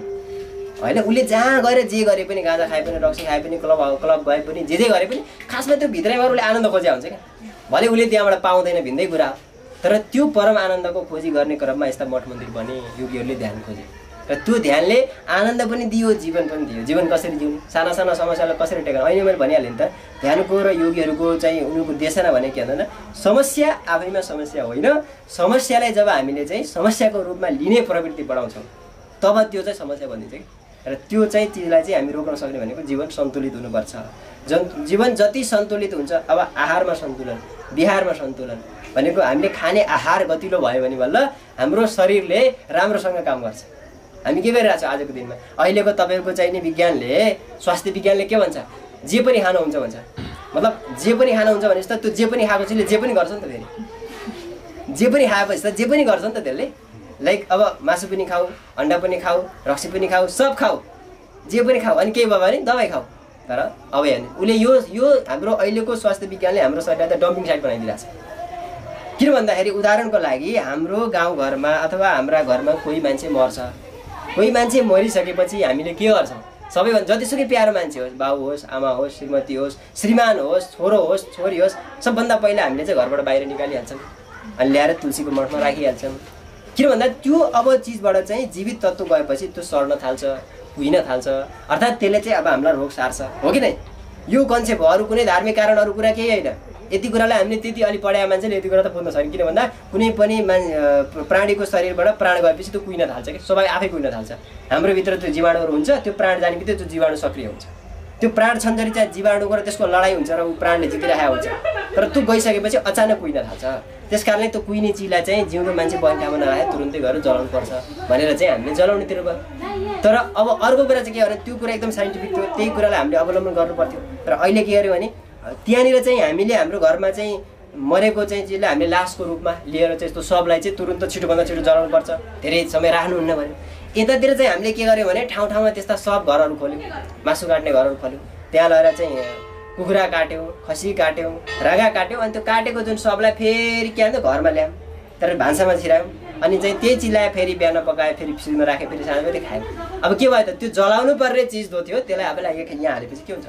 कुहिन्छ कि कुहिन्छ अनि त्यसले चाहिँ के हुन्छ त? हाम्रो विचार अनि यो दिमाग मस्तिष्क के गरिदिन्छ त? गरम गरिदिन्छ तातो गराइदिन्छ।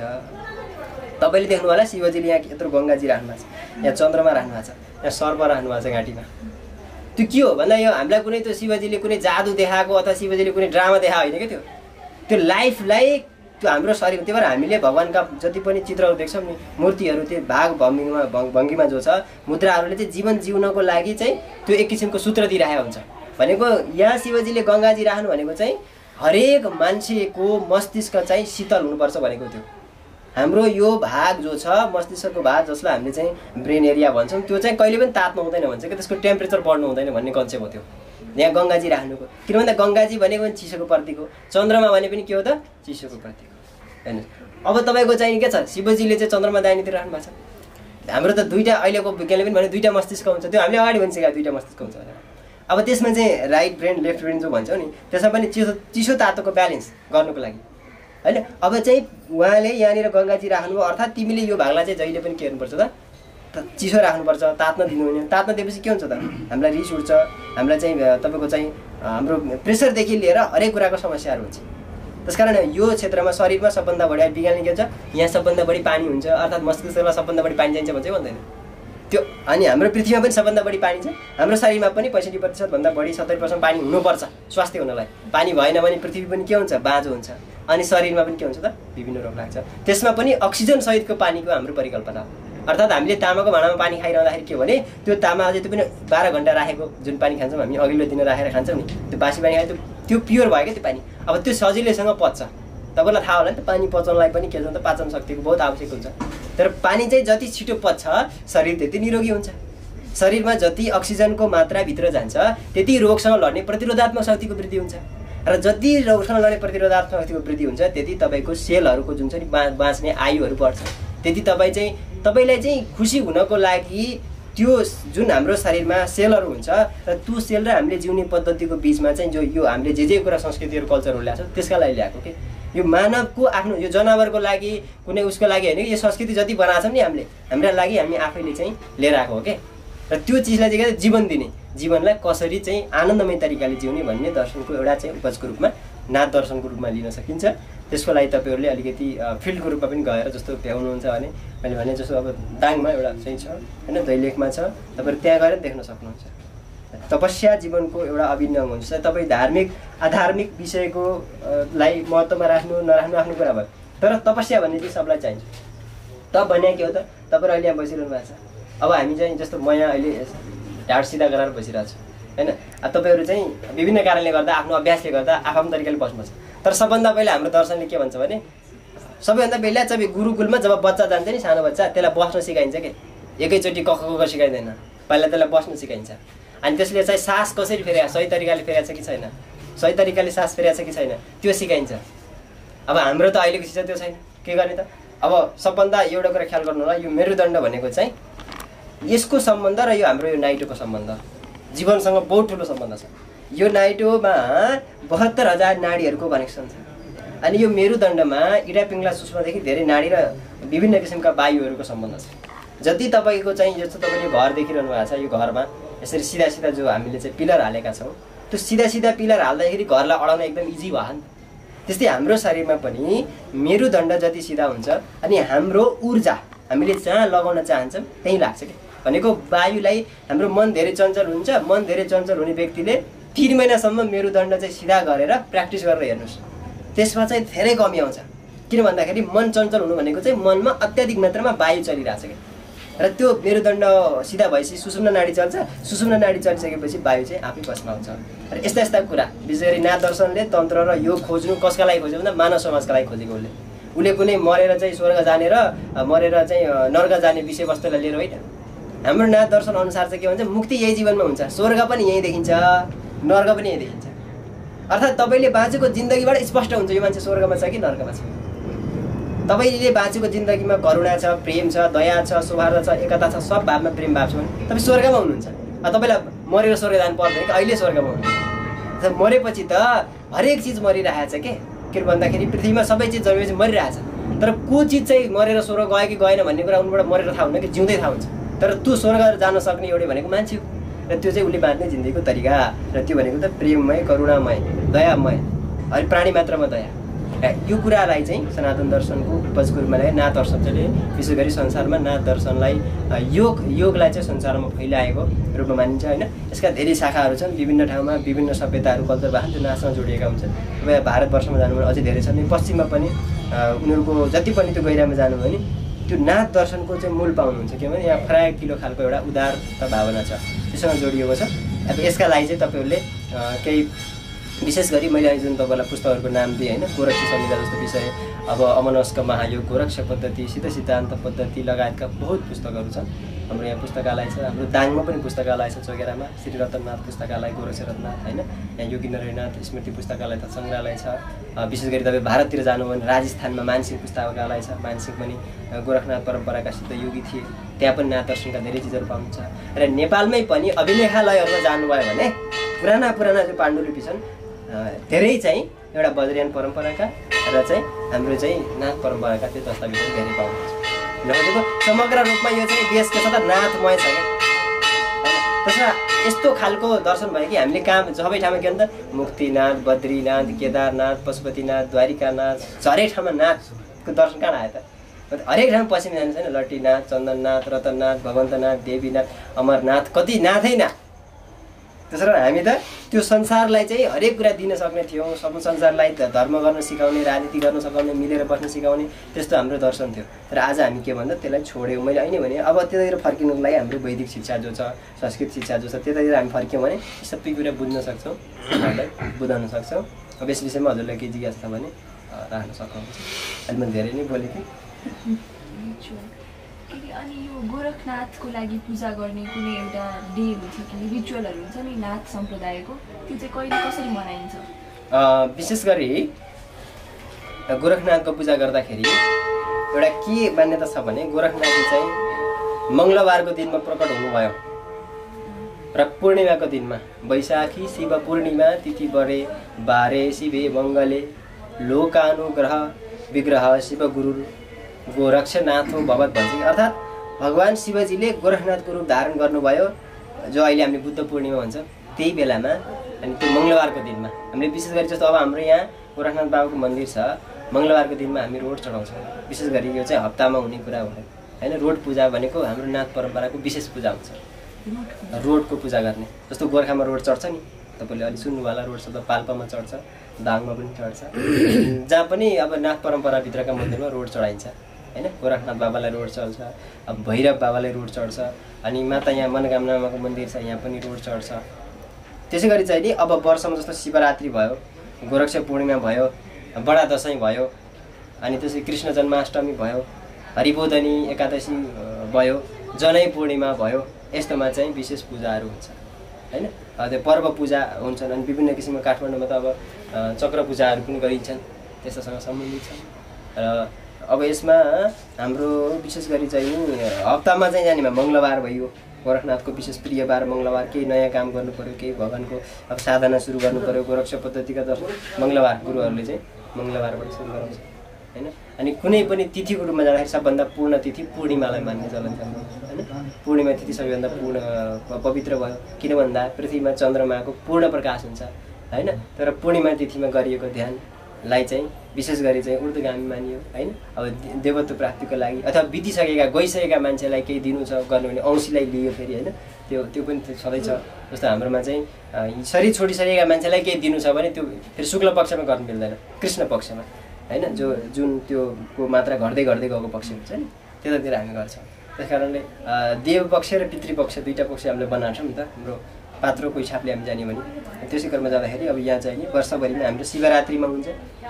अनि चाहिँ बडा दसैँमा भयो। अब जनै पूर्णिमामा भयो देउता लिएर अहिले हाम्रो गोसाइकोट जानुभएको छ। त्यसपछि कृष्ण जन्माष्टमीको कुरा भयो। त्यसपछि हरिबोधनी एकादशीमा यिनीहरू चाहिँ विशेष विशेष अलि अतिरिक्त पूजा हुन्छ। अरू नित्य पूजा त हाम्रो अब साँझ बिहान यहाँ भइरहेको छ। अ, त्यसमा चाहिँ रोड पूजादेखि लिएर अब त्यहाँ सोह्रको षोडशोपचार अथवा पञ्चोपचार अथवा चाहिँ एक सय आठ प्रकार छ आठ आठ प्रकार सोह्र प्रकार जति प्रकारले गर्न सकिन्छ। अब चाहिँ हामीले जे जे चढाउँछौँ त्यो चिज सबै चढाएर गर्ने विधि हुन्छ र यहाँको परम्परा भनेको चाहिँ सात्विक विधिको परम्परा हो। किन भन्दा गोरखनाथ भनेको त दुध र रोड मात्रै खाने चामल पनि प्रायः जसो नखाने। हामी त्यो सात्विक देवता मानिनुहुन्छ कि? त्यही भएर यहाँले हप्तामा एक दिन चाहिँ रोड चढाउने अनि गाईको चाहिँ दुध चढाउने देउताले खाने भनेको दुइटा चिज हुन्छ कि एउटा चाहिँ तपाईँको चाहिँ त्यो बास्ना हामीले चाहिँ धुप बाल्छ। नि होइन? एउटा चाहिँ जल। देउताले अन्न चाहिँ खाँदैन। त्यही भएर हाम्रो मान्यता जहाँ गए पनि जल दिने हुन्छ। नि जल सबभन्दा पहिला जल। हाम्रो घरमा कोही आयो भने सबभन्दा पहिला के हुन्छ जल दिन्छ नि जल हामी तीर्थमा गए सबभन्दा पहिला के? त्यो जल पितृलाई चाहिँ पहिला जल अर्पण गर्छौँ क्या त्यही भएर देउताका दुईवटा एउटा चाहिँ अनि धुप बाल्ने अनि एउटा चाहिँ ज्योति प्रकाश। अब त्यो त्यही चाहिँ देउताले खाने। अनि हामीले चाहिँ के गरेछौँ त्यहाँ समाधि नबुझेर? अब पुरै त्यो बलि दिने यो दिने त्यो त्यो त खाँदै खाँदैन। त्यो त पचाउँदै पचाउँदैन देउताले त त्यस्तै चिज हेर्दै हेर्दैन नि। त्यस कारणले चाहिँ अब हाम्रो हिसाबले हेर्दाखेरि अब जस्तो म- यहाँ भने ती कुराहरू हजुरले टिप्नुभयो अनि अब कतिपय चाहिँ ठाउँ अनुसार अलिकति फरक हुनसक्छ। यहाँ चाहिँ त्यस्तो छ। होइन? अब जुम्लातिर जानु भने अलिक तलमाथि हुनसक्छ। त्यहाँको अलिकति त्यहाँको विशेष पर्व अनुसार एक्स्ट्रा पूजा हुनसक्छ। दैलेखमा त्यस्तै हुनसक्छ। जस्तो अब अहिले चाहिँ हाम्रो श्रीस्थान नाभिस्थानबाट यो जनै पूर्णिमामा दैलेखबाट देउता लिएर जसरी यहाँबाट हामी बढी अब के अरे गोसाइकुण्ड गए जस्तै त्यहाँबाट चाहिँ बडी मालिका त्यहाँ मालिका कालिका माथि मन्दिर बनाएको छ त्यहाँ जाने चलन हुन्छ। कति चाहिँ सिधै अहिलेको चाहिँ बाजुरामा पर्ने बडी मालिकामा पनि जान्छ होइन? त्यसरी जोडिएको छ। अनि तपाईँले अघि सिद्ध सिद्धान्त पद्धति भन्नुभएको थियो नि त्यसको बारेमा के सिधै सिद्धान्त पद्धति भनेको चाहिँ के छ भन्दाखेरिमा कसरी चाहिँ योगीहरू सिद्धहरूले चाहिँ नि त्यो साधनाको मार्गमा कसरी प्रवेश गर्ने यो शरीरलाई कसरी चिन्ने हाम्रो शरीरमा कति प्रकारका नाडी छ कति प्रकारका अस्थि पञ्जरहरू छ यो शरीरले काम कसरी गर्छ? यो आँखाले हेर्दा कुन वायुको प्रयोग भएको छ कानले सुन्दा कुन वायुको प्रयोग भएको छ अहिले म बोलिरहेको छु कुन वायुको प्रयोग भएको छ यो देब्रे नाकबाट कुन नाडी चल्छ दाहिनेबाट कुन नाडी चल्छ यी सबै विषयमा त्यो एक एक व्याख्या गर्ने। र यो यो संसार र यो शरीरमा केही पनि फरक छैन भन्छ त्यसले। सिद्ध सिद्धान्त पद्धतिको मत अनुसार यत पिण्डे तत् ब्रह्माण्डे भन्छ। अर्थात् पृथ्वी जल तेज वायु आकाश हाम्रो शरीरमा पनि छ। पृथ्वी जल तेज वायु आकाश यो प्रकृतिमा पनि छ। जे जे धेरै यो पृथ्वीमा छ त्यही त्यही पनि यही शरीरमा छ। अर्थात् चाहिँ नि तिमीले यो शरीरलाई चिन्यौ भने चाहिँ नि यो प्रकृतिलाई चिन्छौ। तिमी अर्को कुनै ग्रहमा पुग्नु पर्दैन मङ्गलमा उसमा जानु पर्दैन। यहाँ यहीँ यहाँ पर प्रवेश गरेपछि सबै चिनिन्छ भन्छ। तर पिण्डे तत् ब्रह्माण्ड भन्ने त्यसको मूल दर्शन। र चाहिँ सिद्ध सिद्धान्त पद्धति भनेको चाहिँ नाथ परम्पराको विशेष गरी ज्ञान र योग दुईवटा कुरा एकै ठाउँ भएको। होइन? ज्ञान र योग अर्थात् योग भनेको प्र्याक्टिकल पक्ष भयो ज्ञान भनेको त्यसको दर्शन भयो। र त्यो कुरालाई चाहिँ अब उसले चाहिँ पहिला सबभन्दा पहिला चाहिँ तपाईँको शरीर चिनाउँछ कि? अनि कसरी आसनमा बस्ने कसरी प्राणायाम गर्ने कसरी अनि त्यो सबै सिकाउँछ के खाने के नखाने। अनि त्यो कहाँबाट सुरु गर्छ भने तपाईँ गर्भमा गएर बसेदेखिबाट सुरु गर्छ उसले। कति दिनमा त्यो बच्चा सात दिनमा कत्रो हुन्छ महिना दिनमा कत्रो हुन्छ पैँतालिस दिनमा कत्रो हुन्छ छ महिनामा कत्रो हुन्छ कति बेला हात बन्छ कति बेला खुट्टा बन्छ सबै भनेको छ अहिलेको जुन विज्ञानले अहिले पत्ता लगायो त्यो अगाडि योगीहरूकोसँग त खै अहिलेको जस्तो केही तर उनीहरू सबै कुरा पत्ता लगाइसकेका थिए। उनीहरूले अगाडि नै पत्ता लगाइसकेका थिए कि मान्छेको मानिसहरू जब गर्भमा गएपछि कति दिनमा क के भन्छ सबै कुरा त्यो उनीहरूको रिसर्च भयो। उनीहरूको त त्यो भिडियो स्क्यान गर्ने अथवा चाहिँ त्यो अहिलेको जस्तो मिसिन त केही पनि थिएन। हामीले देख्दा त अहिले त केही पनि छैन नि त। तर उनीहरूसँग समाधिको त्यस्तो खालको चाहिँ गहिरो ध्यानको यहीँ बसी बसी उनीहरूले टाढासँग पनि कुरा गर्न सक्ने सु टाढा टाढाको कुरा सुन्न सक्ने सुँघ्न सक्ने त्यस्तो खालको चाहिँ संवेदना उनीहरूले चाहिँ ध्यानबाट जगाएका थिए। त्यसरी आएको थियो। त्यो हिसाबले चाहिँ सिद्ध सिद्धान्त पद्धतिले के भने त्यो साधना गरेर सिद्ध बनेर सिद्धहरूले चाहिँ अवलम्बन गरेको एउटा मार्गको रूपमा होइन नामबाट पनि हामी बुझ्छौँ नि सिद्ध सिद्धान्त पद्धति भनेर। महाराज आदेश।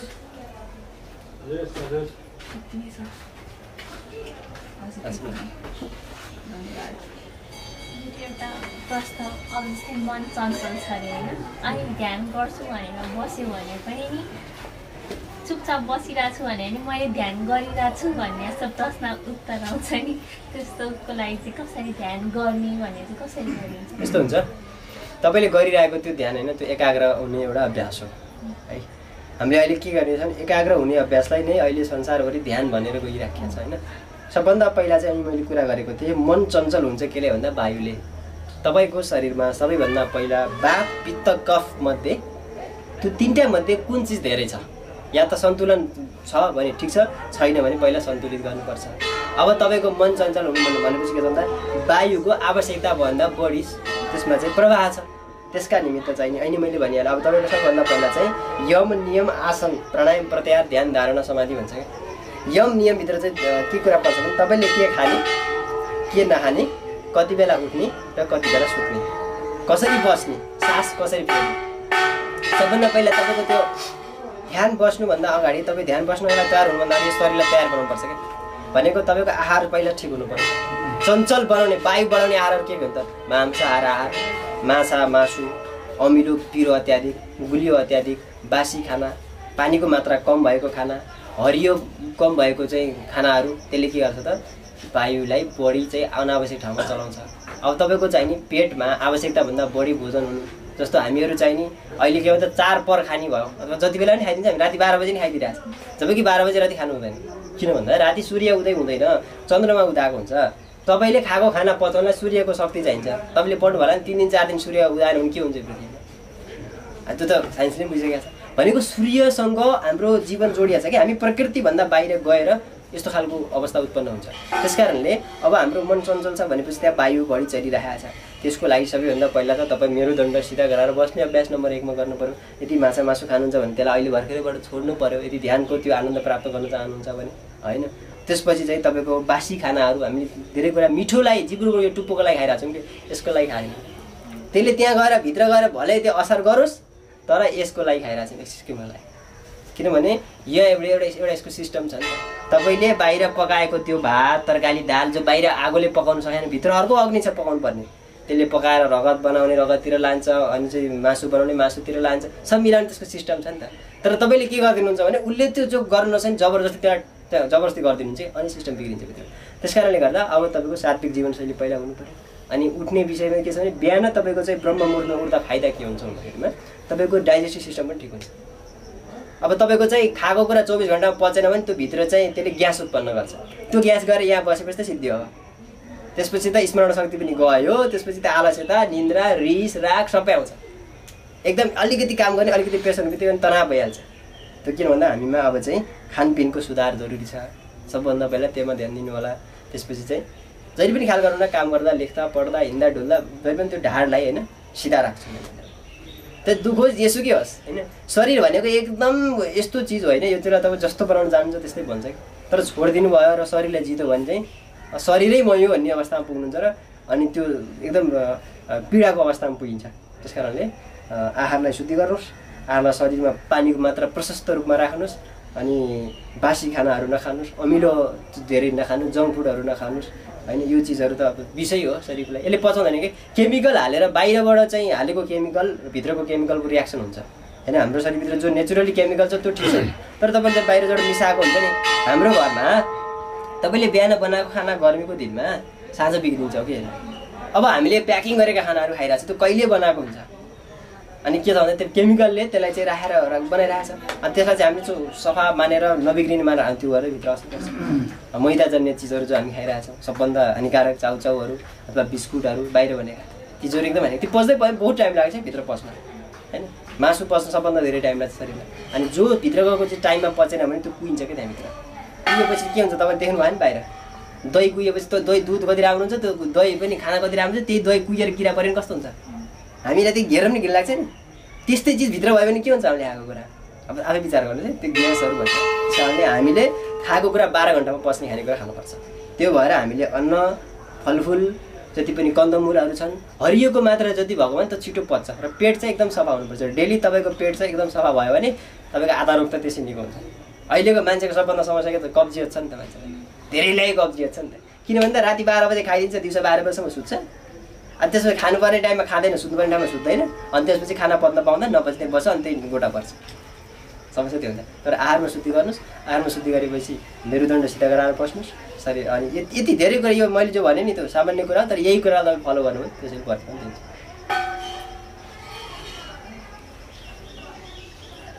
साह्रै सफा thank you so much thank you तपाईँको टाइमको लागि उ गरिदिनुहोस् त्यो चाहिँ अडियो एक्चुली उहाँलाई हजुर आउँछ है। अनि मैले अस्ति यो कुशेश्वर महादेवमा जाँदाखेरि त्यहाँ बनाएको रहेछ एउटा नयाँ गोरखनाथको मन्दिर? बनाएको छ। अनि अर्को कुरा चाहिँ अजबा जबको कुरा गरेको छ नि हजुरले। सोहम। त्यो त खासमा ओम रहेछ नि। स सोलाई स हटाउने हमलाई के अरे के अरे ह हटाउने। त्यो सोमको कन्सेप्ट के हो भने जसरी हाम्रो यो श्वास चलिरहेछ नि त्यसलाई केही अवरोध नगर्ने। खासमा त्यो सोम भनेको पनि के भन्दाखेरिमा भित्र गएको र बाहिर आएकोलाई खालि हेर्ने मात्रै। त्यो सोमको कन्सेप्ट त्यही हो। त्यही चिज हामीले विपासना भनेपछि बुद्धको समय विपासना लास्टको गरायो चाहिँदैन है भाइ। त्यो गर्ने के होइन बस्नु त्यही गर्नु तर त्यति गर्नलाई मान्छेलाई पूर्व तयारी निकै गर्नुपर्ने हुन्छ। होइन? त्यसरी चाहिँ नि सुवम हामीले त्यो अजपा गायत्री जो चौबिस घन्टामा हामीले एक्काइस हजार छ सय पटक सास फेर्छ भन्छ योगीहरूले। चौबिस घन्टामा एउटा स्वास्थ्य मान्छेले एक्काइस हजार छ सय पटक सास फेर्छ अरे। हो र त्यो एक्काइस हजार छ सय पटक सास फेर्दाखेरि त्यो अजपा गायत्री भनेको नि एक्काइस हजार छ सय पटकसम्म तपाईँले सास फेरेको फिल गर्नु पऱ्यो होसमै सास फेर्नु पऱ्यो तपाईँलाई एक्काइस हजार छ सय पटक नै त्यो सास फेरेको चाहिँ ज्ञान हुनु पऱ्यो त्यो ज्ञान हुँदा हुँदै अनि तपाईँको चाहिँ सबै कुरा चाहिँ अन्तर्मुखीकरण हुन्छ। त्यो त्यो कन्सेप्ट हो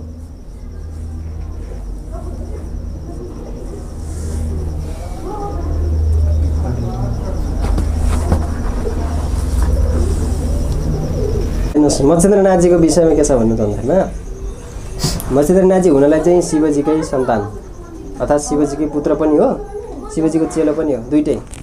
अर्थात् हनुमान र मच्छेन्द्रनाथ दुइटा दाजुभाइ हुन् है? हनुमान र मच्छेन्द्रनाथ चाहिँ दुईजना दाजुभाइ हुन्। अब तपाईँले अमर कथाको विषयमा कतिको सुन्नुभएको? होइन? प्रसङ्गले के भन्छ भने अब त्यो कुरा अहिलेको हाम्रो विज्ञानको उसले चाहिँ अब हामी अलिक विश्वास नगरी भयौँ। अब मच्छेन्द्रनाथजीलाई मा मच्छेन्द्रनाथजीको उत्पत्ति हुँदाखेरि राघव मत्स्य एउटा चाहिँ जो माछो हुन्छ त्यो माछोले भगवान् भगवान् शिवजी भगवान् शिवजीको तपाईँको चाहिँ नि यो त्यो अंशको रूपमा त्यो माछोभित्र गएर मच्छेन्द्रनाथजी थि हुनुहुन्थ्यो। अर्थात् चाहिँ भगवान् शिवजीले आमा पार्वतीलाई अमर कथा सुनाइरहनु भएको थियो। होइन? त्यो अमर कथा सुनाउँदाखेरि चाहिँ नि त्यहाँनिर एउटा चाहिँ मच्छेन्द्रनाथ एउटा अर्का चाहिँ सुखदेव। यी दुईवटा व्यक्ति चाहिँ त्यहाँ थिए। होइन? मच्छेन्द्रनाथ चाहिँ त्यो माछोभित्र चाहिँ भित्र बसिरहेर सुनिरहेको थिए। अनि चाहिँ त्यो सुखदेवजी चाहिँ त्यो सुगा भएर सुनिरहेको थिए। होइन? अब चाहिँ भगवान् शिवजीले माता पार्वतीलाई अमर कथा सुनाइरहेको बेलामा अब अमर कथाभित्र चाहिँ जम्मै कुरा सुनाउने अमर कथा अमर कथा हामीले नाम मात्र सुनिरहेको थियो अमर कथाभित्र के के आउँछ नि त? योग आउँछ तन्त्र आउँछ सङ्गीत आउँछ आयुर्वेद आउँछ। नाट्यशास्त्र आउँछ पाकशास्त्र आउँछ शिल्पशास्त्र सबै आउँछ। त्यो सर्वस्व सुनाइरहँदाखेरि चाहिँ अचानक चाहिँ अब भगवती के छ त्यो योगमा जानुभयो। वा। अब समाधिबाट भन्ने शिवजीले पनि यसरी आँखा खोलेर होइन उहाँहरूको पुरै समाधिबाट भन्ने अनि समाधिबाट भनिरहँदाखेरि त बिचबिचमा चाहिँ माता पार्वती सुनिरहेको कुराको चाहिँ आवाज हुन्जरी उहाँले हाम्रो कथा भनिरहनु भएको थियो। तर अचानक त के भयो भन्दाखेरिमा अब त्यसको चाहिँ शिवजीले जो कुरा बेला बेलामा चाहिँ त्यो अँ सुनिरहेको छ कि छैन भनेर सोध्नेमा उत्तर आएन। मतलब बिचबिचमा उत्तर पहिल्यैबाट आउन छोडिरहेको रहेछ तर चाहिँ त्यो उता बसेको सुङ्गाले अँ भनेर बिचमा थपिरहेको रहेछ। मतलब त्यो अमर कथा बन्द नहोस् भनेर। पछि शिवजीले यसो मेसो पाउँदा यसो हेर्दाखेरि त माता पार्वती त योगमा चाहिँ हुनुहुन्छ। यो कसले अँ भनिरहेको थियो त होइन भन्दाखेरि त एउटा सुगा अनि साइडमा त्यो मासु देख्नुभयो। अब यिनीहरूलाई चाहिँ गर्नु पऱ्यो भनेर चाहिँ गर्दाखेरि चाहिँ नि तिनीहरूले चाहिँ होइन हामीलाई चाहिँ हामीमा यसको केही दोष थिएन। हामीले तपाईँले सुनाएको कुरा अब कन्टिन्यू श्रवण भइरहेको थियो त्यो नरोकियोस् भनेर हामीले चाहिँ सुन्न चाहेको हामी चाहिँ तपाईँकै तपाईँ जे भन्नुहुन्छ हामी त्यसैकै हो हामीलाई त्यो सिध्याउनु पर्दैन भनिसकेपछि चाहिँ। ल ठिकै छ भनेपछि अनि कहाँसम्म कुरा आउँछ भने सु सुँगाको त पछि नै लाएर गएर त्यो पेटभित्रसम्म त्यस्तो त्यस्तो कुराहरू छन् होइन?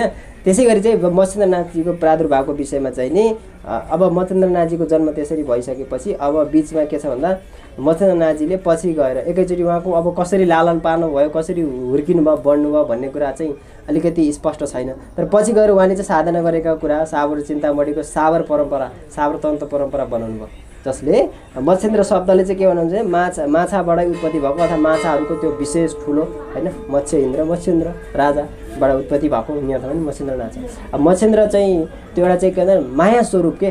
हेर्दै एकदम लोभ लाग्दो। मत्स्येन्द्रको स्वरूप के? त्यो चिज हेर्दा तपाईँलाई एकदम त्यसले खिची हेरौँ हेरौँ जस्तो लाग्छ भने त्यो मत्स्येन्द्र छ क्या एकदम सुन्दर छ त्यो। तपाईँलाई चाहिँ त्यसले तुरुन्तै सम्मान गर्छ भने त्यसलाई के भन्छ मत्स्येन्द्र भन्ने भनेको मत्स्येन्द्रनाथजीमा त्यस्तो स्वरूप थियो कि? किनभने उहाँको उहाँमा तन् तन्त्रको ज्ञान पनि थियो योगको ज्ञान पनि थियो आयुर्वेदको ज्ञान पनि थियो सबै ज्ञान थियो। त्यो ज्ञान भएको हुनाले त्यो चिज सर्वसम्पन्न भएपछि जसले उहाँलाई हेर्थ्यो जो उहाँसँग बोल्थ्यो तुरुन्तै सम्मोहित हुन्थ्यो अनि सम्मोहित भएपछि त्यो त्यो सुरलाई भन्दाखेरि एउटा मायालाई तपाईँको चाहिँ जुन माछा हुन्छ नि तपाईँको तन्त्रमा चाहिँ मत्स्यलाई त्यो लिइन्छ। अथवा त्यो त्यसमा त्यो यस्तो खालको सम्मोहित शक्ति हुन्छ। अनि फेरि त्यो सम्मोहित भइकन माया स्वरूप भइकन त्यस्तै शालीन र त्यस्तै त्यो एकदम माछाको स्वभाव पनि एकदम हुन्छ कि नरम र सफ्ट हुन्छ। त्यो स्वरूप भएको मत्स्यनाथजी अनि पछि चाहिँ जब मत्स्यनाथजीको परम्पराका दुईवटा कुरा छन् पछि गोरखनाथजी जब मत्स्यनाथजीले तपस्या गर्नुभयो सूर्यको अनि अरू चाहिँ त्यो चौरासी सिद्धहरूको अठासी हजार ऋषि मुनिहरूको नवग्रहहरूको सत्ताइस सबको तपस्या गरेर उहाँले चाहिँ सूर्यदेखि लिएर सबबाट मन्त्रदेखि सब लिनुभयो। तर अब के भयो भने त्यो चिजलाई लिनुको उहाँको ध्येय के थियो भन्दा संसारभरि त्यसलाई चाहिँ फैलाउन पाइयोस्। तर त्यो उहाँले गर्न सक्दिनँ भनेपछि उहाँले फेरि शिवजीलाई पुकारा गरेर के गर्नु भने अब म चाहिँ हजुरकै चेलो हो। हजुरबाटै हजुरको कृपाले यसो कुरा प्राप्त गरे तर यसलाई मैले फैलाउन सक्दिनँ अब तपाईँ आउनुपर्छ मेरो चेलो बनाउनु भनेपछि अब गोरखनाथजी चाहिँ त्यही भएर एउटा भनाइ पनि के छ भने आदिनाथो गुरु यस्य गोरक्षस्य चय गुरु हो मत्स्येन्द्रम तम हम भन्ने महासिद्धम जगत गुरु अर्थात् चाहिँ अब कस्तो भन्दा विडम्बना चेलाले यस्तो कुरा माग्यो कि चेलाकै चेलो बन्नु पर्ने भयो। भगवान्ले है जसलाई वरदान दिएको होइन वरदान पनि यस्तो मागेको चेलोले अब चेलो बनेर आउनु। ठिक छ वरदान मागेपछि भगवान् शिवजीले के गर्नुभयो त भन्दा संसारमा मानिसहरू परम अब त्यो परमात्मा रूपी रागलाई छोडेर संसार रूपी रागमा अल्म अल्मलेर दुःखी भइरहेको थियो योग पनि दिनु थियो। अनन्त योगी सिद्धहरूलाई त्यो एउटा चाहिँ दर्शन पनि दिनु थियो। त्यो हिसाबले हेर्दाखेरि गोरखनाथको एउटा स्वरूप आमा आमासँग छँदैछ भगवान् शिवको एउटा स्वरूप के हो त? गोरखनाथको रूपमा आयो। होइन? जसको स्वरूप चाहिँ पृथ्वी जल तेज वायु आकाश पाँचवटा तत्त्वलाई जितेको स्वरूप छ। हामीले त पाँचवटा तत्त्वलाई जित्न सकेका छैनौँ। एउटा पृथ्वी तत्त्वलाई जित्न सक्दैनौँ। त्यही पृथ्वी तत्त्वले बढी जितेर त हामी चाहिँ रिसमा आउँछौँ क्रोधमा आउँछौँ लोभमा आउँछौँ। तर योगीहरूले त्यो पाँचवटाले जित्छन्। उनीहरू यहीँ हुन्छन् तर यहीँ हुँदाहुँदै पनि उनलाई पृथ्वी तत्त्वले केही गर्दैन जल तत्त्वले उनीहरू उनीहरूलाई जित्दैन कि उनीहरूले त्यसलाई चलाउँछन्। हामीलाई चाहिँ अरू चिजले चलाइरहेछ। योगीहरूले चाहिँ तिनीहरूलाई चलाउँछन्। हामीलाई इन्द्रियले चलाइरहेछ योगीहरू योगीहरूको चाहिँ दास इन्द्रिय हुन्छ। हामीहरू इन्द्रियका दास हुन्छौँ साधारण मान्छे। त्यस कारणले गर्दा समस्या उनीहरूले त इन्द्रियलाई दास बनाइन्छन् ए जस्तो इन्द्रियलाई दास बनाइन्छ भने के योगीले भने ल अब म छ घन्टा त्यस्तै गरी पलिटिक कसेर बस्छु भनेपछि बस्छ शरीर तर हामीलाई ओहो एक घन्टा नहुँदै के हुन्छ त? किनभने त हामी इन्द्रियका दास भइरहेछ नि त। हामीलाई चाहिँ विश्वासै छैन कि यो शरीरलाई हामीले ट्रेन गर्न सक्छौँ भनेर। तर योगीहरूले चाहिँ त्यो अभ्यास निरन्तर गरे र मत्स्यनाथजी त्यस्ता योगी हुनुहुन्छ जो अब नेपालमा चाहिँ गोरखनाथजी यहाँ तपस्या गरेको बेलामा बाह्र वर्षमा अखण्ड समाधि लगाएर यहाँ तपस्या गर्नुभयो। कस्तो भयो भन्नुहुन्छ भन्दाखेरिमा अब तान्त्रिकहरू र तान्त्रिकहरू भयो साइन्टिस्टहरू भयो पढे लेखेको मान्छेहरूमा के हुन्छ भन्नुहुन्छ भन्दाखेरिमा यदि आध्यात्मिक पूर्ण चेतना छैन भने अहम आउँछ क्या। जस्तो मसँग चाहिँ सर्वसम्पन्न अलिकति धन धेरै छ मसँग एकदम अत्य अत्याधुनिक सम्पन्न चिजहरू छ भने मलाई अलिकति त्यो अहम भाव हुन्छ ओहो यसको प्रयोग मैले कहाँ गर्ने होला कोसँग गर्ने होला। कोही मोटो बलियो मान्छे भयो भने कोसँग लड्न पाए हुन्थ्यो भन्ने एउटा एउटा हुन्छ क्या। त्यस्तै जस्तो हो। गुरु गोरखनाथजी काठमाडौँमा प्रवेश गर्दाखेरि उहाँ प्रवेश गर्नुभयो अनि प्रवेश गर्दा एउटा साधारण भेषमा जोइको भेषमा प्रवेश गर्नुभयो पन्ध्र सोह्र वर्षको चौध पन्ध्र वर्षको एउटा बालक जस्तो स्वरूपमा।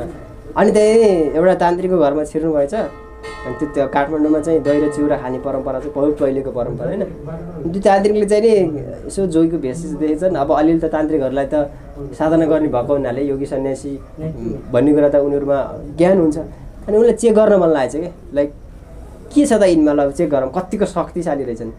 हुन्छ नि तपाईँले त्यही हो कि? अब अलिकति मान्छेमा त्यो भएपछि त्यसलाई घमण्ड आइहाल्छ क्या अनि अनि त्यसपछि चाहिँ उहाँले के गर्यो भने त्यो गोरखनाथजी बाबा उहाँ गएर बस्नु भएको थियो अब अतिथि रूपमा घरमा पुगे त्यसपछि ती तान्त्रिकले के गर्यो भन्दाखेरि गोरखनाथ बाबालाई दही र चिरो ल्याएर खान। दही र चिरो ल्याएर खाना दिन दिए अनि गोरखनाथ बाबाले खानुभयो। बडा मिठो थियो होइन अब काठमाडौँको दही र काठमाडौँको चिउरा भनेको पहिल्यैबाटै मिठो हुन्थ्यो। त्यो बहुत पुरानो हो कि। अनि मिठो थियो खानुभयो फेरि अर्कोचोटि पनि मगाउनु भयो फेरि पनि खा मतलब ल्याइदिए खानुभयो। पहिलोचोटि खानुभयो ठिकै थियो दोस्रोचोटिमा चाहिँ अलिकति अर्कै खालको भयो होइन। तेस्रोचोटिमा त एकदम नसै लागेको छ गोरखनाथ बाबालाई नसा लाग्यो। अनि अब मिठो त्यो खानुभयो तेस्रोचोटि अब चाहिँ खान सकिँदैन। अब त्यसो हेरेर ध्यान गरेर के ल्या के हालेर ल्याएछ त्यो मान्छे अब पहिला अब त्यो त्यसमा चाहिँ नि सुरुमा खाँदा केही भएन पछि जब तेस्रो पटकमा त्यस्तो नसा लाग्यो जस्तो एकदम झ्याम्म भयो जस्तो कस्तो कस्तो भयो। यसो ध्यान गरेर हेरेको त त्यो तान्त्रिक मान्छेले भित्र गयो भान्सामा गयो दही हाल्यो एउटा कटोरामा चिउरा हाल्यो अनि त्यसपछि एउटा कोठामा गयो। त्यो कोठामा जाँदाखेरिमा एउटा नागहरू यस्तै चारतिरबाट यस्तो चारवटा नागहरूलाई यसरी राखेको रहेछ त्यो हेर्नुहोस् है अब तपाईँको हाम्रो परम्परामा चाहिँ नाग पुज्ने परम्परा एकदम पुरानो परम्परा होइन? मन्दिरदेखि लिएर जलदेखि लिएर आकाश जहाँ पनि हामी नागलाई पुज्छ। हाम्रो शरीरमा पनि नागको बास हुन्छ। अनि त्यो नागलाई चाहिँ यसो सम्मोहित गरिहाल्छ। नागलाई सम्मान गर्न मिल्छ। नागलाई सम्मान गर्ने जडीबुटी हुन्छ मन्त्र हुन्छ। त्यो ललाक लुलुक हुन्छ सम्मान गरेपछि तपाईँ विषय झारिन्छ उसले। हामी सर्प देखेर डराउँछ होइन? सर्प फेरि एउटा प्रकृतिको अलगै पाटो छ। सर्पको बारे अहिले बोल्यो भने एक घन्टा जान्छ। त्यो छोडिदिएँ मैले। अब तपाईँको चाहिँ नि त्यो दुइटा चारवटा नाग यसरी तप तप तिनीहरूले एउटा कटोरामा त्यो विष झारिरहेको थियो। अनि त्यो तान्त्रिकले चाहिँ ठ्याक्क त्यो दही चिउरामा त्यो मिसाएर हालेर लैदिइरहेछन् त्यसले पो विषको त तपाईँको चाहिँ कडा हुन्छ विष त होइन? अनि त्यसले नसा लाग्यो। अनि त्यसपछि नसा त्यो ए ल। अब तिमीहरू चाहिँ यो विष भनेको त जब कसैलाई आपतकालीन रूपमा कसैलाई चाहिँ अकाल मृत्युको परिस्थिति आयो भने विषले विषलाई काट्नको लागि विष हार्ने अनुमति होस् तान्त्रिकहरूलाई। नत्र त्यसरी सर्पलाई सम्मान गरेर विष पनि पाइन्थेन त्यहाँ त शक्तिलाई यो कतिको बलियो रहेछ भनेर चेक गर्नु पनि म तिमीहरूलाई भस्म पार्छु। तिमीहरू चाहिँ एकदम शक्तिको दुरुपयोग गर्ने भएछौ भनेर तिनै नागलाई चाहिँ गोरखनाथ बाबाले सम्मोहित गरेर बाहिर तानिदिनु सम्मोहित गरेर ती भित्रको नाग पनि बाहिर अब त्यो तान्त्रिक भन्दा पनि शक्तिशाली हुनुहुन्थ्यो। अनि यहाँ यहाँ मृगस्थली आउनुभयो यहीँ। अनि त्यही नागलाई आफ्नो आसन पनि च्याप च्याप दिनुभयो। तिनी नाग यहाँ थिचे। अब तिनी नाग के थिए त भन्दा ती नाग थिच्दा तिनीका सबै भयभरका अरू पनि आए त्यहाँ। यसरी सम्मोहित गर्नुभयो कि जस्तो सुगन्ध हेर्नुहोस् है। यो सर्पले चाहिँ जब जे जे कुरा थाहा पाउँछ सुगन्धबाट। सुगन्धबाट सर्प बसमा हुन्छ। सुगन्धबाट सर्प भाग्छ। तपाईँले हेर्नुहोस् सर्प- सर्पको त्यो जिब्रो हुन्छ नि बाहिर निक्लिरहेको। त्यो जिब्रोले सब काम गर्ने। अनि त्यो हामीले चाहिँ यसले सुँग्छौँ त्यसले चाहिँ जिब्रोले जिब्रोले सुँग्छ क्या सर्पले। अनि त्यो जिब्रोले सुँग्ने सर्पलाई जुन चिज सर्पलाई सबभन्दा बढी मन पर्थ्यो अर्थात् त्यो सम्मोहित गरेर चाहिँ गोरखनाथ बाबाले आफ्नो शरीरबाट त्यस्तो बाँच्न निकालिदिनु भयो तर योगीको एक किसिमको त्यो सिद्ध भएपछि त्यस्तो खालको आउँछ कि? अनि ती सबै आएर उहाँको आसन मुनि उहाँले च्याप दिनुभयो। अब चाहिँ आकाशमा जाने सर्प पनि यहीँ आए पानी मुनि जाने सर्प पनि यहीँ आए अब न पानी बन्छ न चाहिँ आकाशमा बादल लाग्छ अब भयभरका पानी पनि सुके सबै बाह्र वर्ष खडेरी पऱ्यो त्यसपछि चाहिँ गएर यो मेरो राज्यमा के भयो त भनेर भन्दाखेरिमा नरेन्द्रदेव मल्लले आफ्नो पुरोहितलाई सोधे बन्धुदत्त शर्मालाई। तपाईँको राज्यमा एउटा यस्ता यस्ता योगी आएको थियो यस्ता यस्ता तान्त्रिकले यस्तो यस्तो गरे उनी रुष्ट भएर एकदम चाहिँ सर्पलाई समेत चाहिँ अब आसनमा बाँधेर बसेको छ नि ती मान्छे गयो त खरानी बनाइन्छ सर्पलाई जसले चाहिँ सर्प त्यस्ता विषालुलाई समेत गर्छन् मान्छेलाई भस्म बनाउनु कति बेला लाग्छ उसले हेरेकै मान्छे भस्म हुन्छ। त्यो पनि त्यस्तो विषालु जनावरलाई नि उसले कम्प गर्न हेरेर राख्नु सक्दैन। त त्यो त्यसलाई मान्छे हेर्ने त्यसै हुन्छ नि तपाईँ हामी जस्तो आगोको नजिकमा गयो भने के हुन्छ? हामी पग्लिन्छौँ नि त। होइन त? त्यस्तै एकदम विषाक्त असुल ग्यासहरू यस्तै ग्यासको नजिक हामी रहन सक्छ। त्यस्तै चाहिँ अनि कुनै पनि चाहिँ अत्यन्त धेरै गुरुत्व आकर्षण शक्ति भएको जस्तो चुम्बकले फलाम खिच्छ त्यस्तो ठाउँमा गयो भने हामी खिचिन्छौँ नि। त्यस्तै खिचिन्छ योगीको योगीको उसमा गएपछि। अनि त्यसरी खिचेर राखिएको छ भनिसकेपछि अब के गर्ने त? एउटै उपाय छ। काम्रो कामाख्यामा मचन्द्रनाथजी हुनुहुन्छ। त्यहाँ गएर उहाँलाई ल्याउनुपर्छ। उहाँका गुरु गुरु आफिस त जतिसुकै ठुलो चेला नि उठ्नु परिहाल्यो होइन संसारमा गुरुभन्दा ठुलो केही छैन। भगवान्भन्दा ठुलो नि गुरु हुन्छ। किन भन्दाखेरिमा त्यो भगवान्लाई देखाउने भगवान् चिनाउने नि गुरु हो नि त। त्यस कारणले सबभन्दा पहिला चाहिँ नि धेरै भक्तहरूले के भन्यो भने गुरु गुरु र भगवान् कुन ठुलो भन्दाखेरिमा गुरु ठुलो। किन भन्दा भगवान्ले चाहिँ लगेर हामीलाई गर्वमा हालिदिए। त्यसपछि संसारमा जाने आफू गायब भए चराचरमा लुकेर बसे। गुरुले चाहिँ के गरे त त्यो त्यो चिजलाई चाहिँ देखाउनको लागि हात समाएर डोराएर चौबिस घन्टा साथ दियो भनेपछि ठुलो भयो त गुरु भयो। त्यस कारणले अब गुरु अब जस्तो सुकै सिद्ध चेलो भए पनि अब गुरु आविष्कार पऱ्यो लागि उठ्नु पऱ्यो थाहा भयो गुरु त अब त्यस्तो चाहिँ नि सर्कललाई सम्मान गर्ने योगीलाई त गुरु आएको त कोसौँ टाढा आएको थाहा भइहाल्यो। आफ्नो गुरुको त्यो बोलीले बाँच्नाले सबैले। अनि त्यसपछि चाहिँ उठे दर्शन गर्न गोरखनाथ बाबा उठेपछि यहाँबाट गोर्खा जानुहुन्छ गोरखनाथ बाबा अनि उसले चाहिँ नरेन्द्र देव मल्लले माफी माग्छन्। मबाट गल्ती भयो मेरा राज्यका प्रजाले गल्ती गरे त्यसको सजाय म भोग्न तयार छु। भनेर अनि त्यसपछि यहाँ गोरखनाथ बाबाको चाहिँ पाउको प्रतिष्ठा यहाँभित्र पाउ छ होइन। अनि त्यो पाउमा प्राण प्रतिष्ठा गरेर म तपाईँको गुठी चलाउँछु पूजा चलाउँछु भनेर अनि त्यसपछि फेरि गोरखनाथ बाबा गोर्खा गएको कुराहरू छ र मसेन्द्रनाथको आगमन चाहिँ त्यहाँबाट भइरहेको छ। ठ्याक्कै यहाँ चाहिँ यो स्पटमा बसेर चाहिँ साधना गरेको भन्ने त्यो ठ्याक्कै ठाउँ थाहा छ हामीलाई। हामीले चाहिँ अब ठ्याक्कै ठाउँ जस्तो यो जुन यो मन्दिर त सबैभन्दा बढी पुरानो ऐतिहासिक हो। यसकै गर्भगृह नै हो कि के हो? हामीले त्यसलाई चाहिँ आधार स्तम्भ बनाउन सक्छौँ। तर त्यसै गरी किटान गरेको कुरा त छैन। तर यो क्षेत्र यो मृगस्थली क्षेत्र भनिएको छ जसमा चाहिँ उहाँ सुरुमा बस्दाखेरि चाहिँ त्यो बर्को रुख थियो ठुलो भनिएको छ। एकदम ठुलो बर्को रुख थियो भनिएको छ। अनि यहाँ चाहिँ कुनै वर्गको बर्को रुख चाहिँ यता पछाडि छ यहाँ त होइन? अनि बर्को रुखको आयु पनि धेरै सय वर्षसम्म टिक्छ। जस्तो तपाईँ दाङमा जानुभयो भने आठ सय नौ सय वर्ष पुरानो रुखहरू छ क्या त्यहाँ बरको रुख छ। अनि अर्को चाहिँ त्यो हाम्रो एउटा के भन्छ एउटा त्यो फुल हुन्छ जसलाई मैले अहिले कस्तो नाम बिर्सेँ अँ, त्यो रातो सेतो पनि पहेँलो सिमल? सिमल होइन। त्यसलाई चाहिँ मतलब हाम्रो गाउँघरतिर नै हुन्छ त्यो हाँगा सारेर पनि सर्छ। त्यस्तै खालको त्यो रुख छ त्यो पनि चार पाँच सय वर्ष पुरानो छ त्यहाँ। भन्ने खोजेको अब यहाँको हाम्रो पुरानो चित्रहरूमा पनि सिद्धहरूले अगाडि कोरेको चित्रहरूमा पनि त्यो बरको रुख मुनि बसेको। यसो भन्ने छ बरको त्यहाँ पछाडि त छ। यही कुनै ठाउँमा हुनसक्थ्यो त्यो रुख अझै ठुलो होइन? त्यसको बच्चाहरू त्यो होला होइन? हुनसक्छ। त्यस कारण यो क्षेत्र यही भयो। फेरि अनि अर्को कुरा के भन्दा यो क्षेत्र फेरि गोरखनाथ बाबा आउनुभन्दा अगाडि चाहिँ अनेक अरू सिद्धहरू आएर पनि तपस्या गरे। त्यहाँभन्दा भन्दा अगाडि यो ठाउँको नाम के भने मृगस्थली सिद्धाचल गोरक्षपीठ। उम्, भगवान् शिवजी आएर मृगरूप धारण गर्दा यस ठाउँको नाम मृगस्थली भयो। त्यसपछि फेरि चौरासी सिद्धहरूमध्येका विभिन्न सिद्धहरू आएर यहाँ तपस्या गरे सिद्धाचल भयो। फेरि गोरखनाथजी आएर बाह्र वर्षपछि गोरक्षपीठ भयो। त्यसरी चाहिँ यो ठाउँकोसम्म इतिहास भएको कुरा अगाडिका गुरुहरूले गर्नुभएको छ।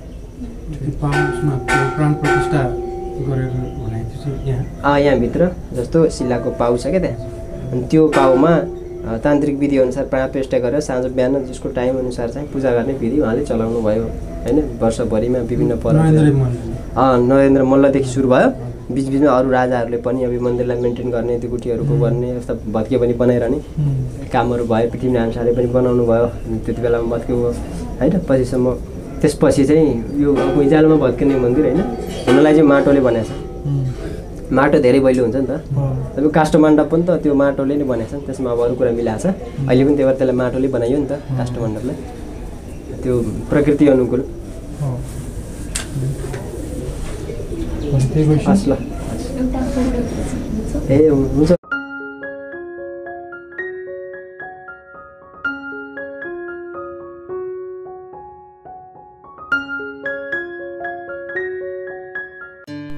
The Secrets of Life with Subhas Agam.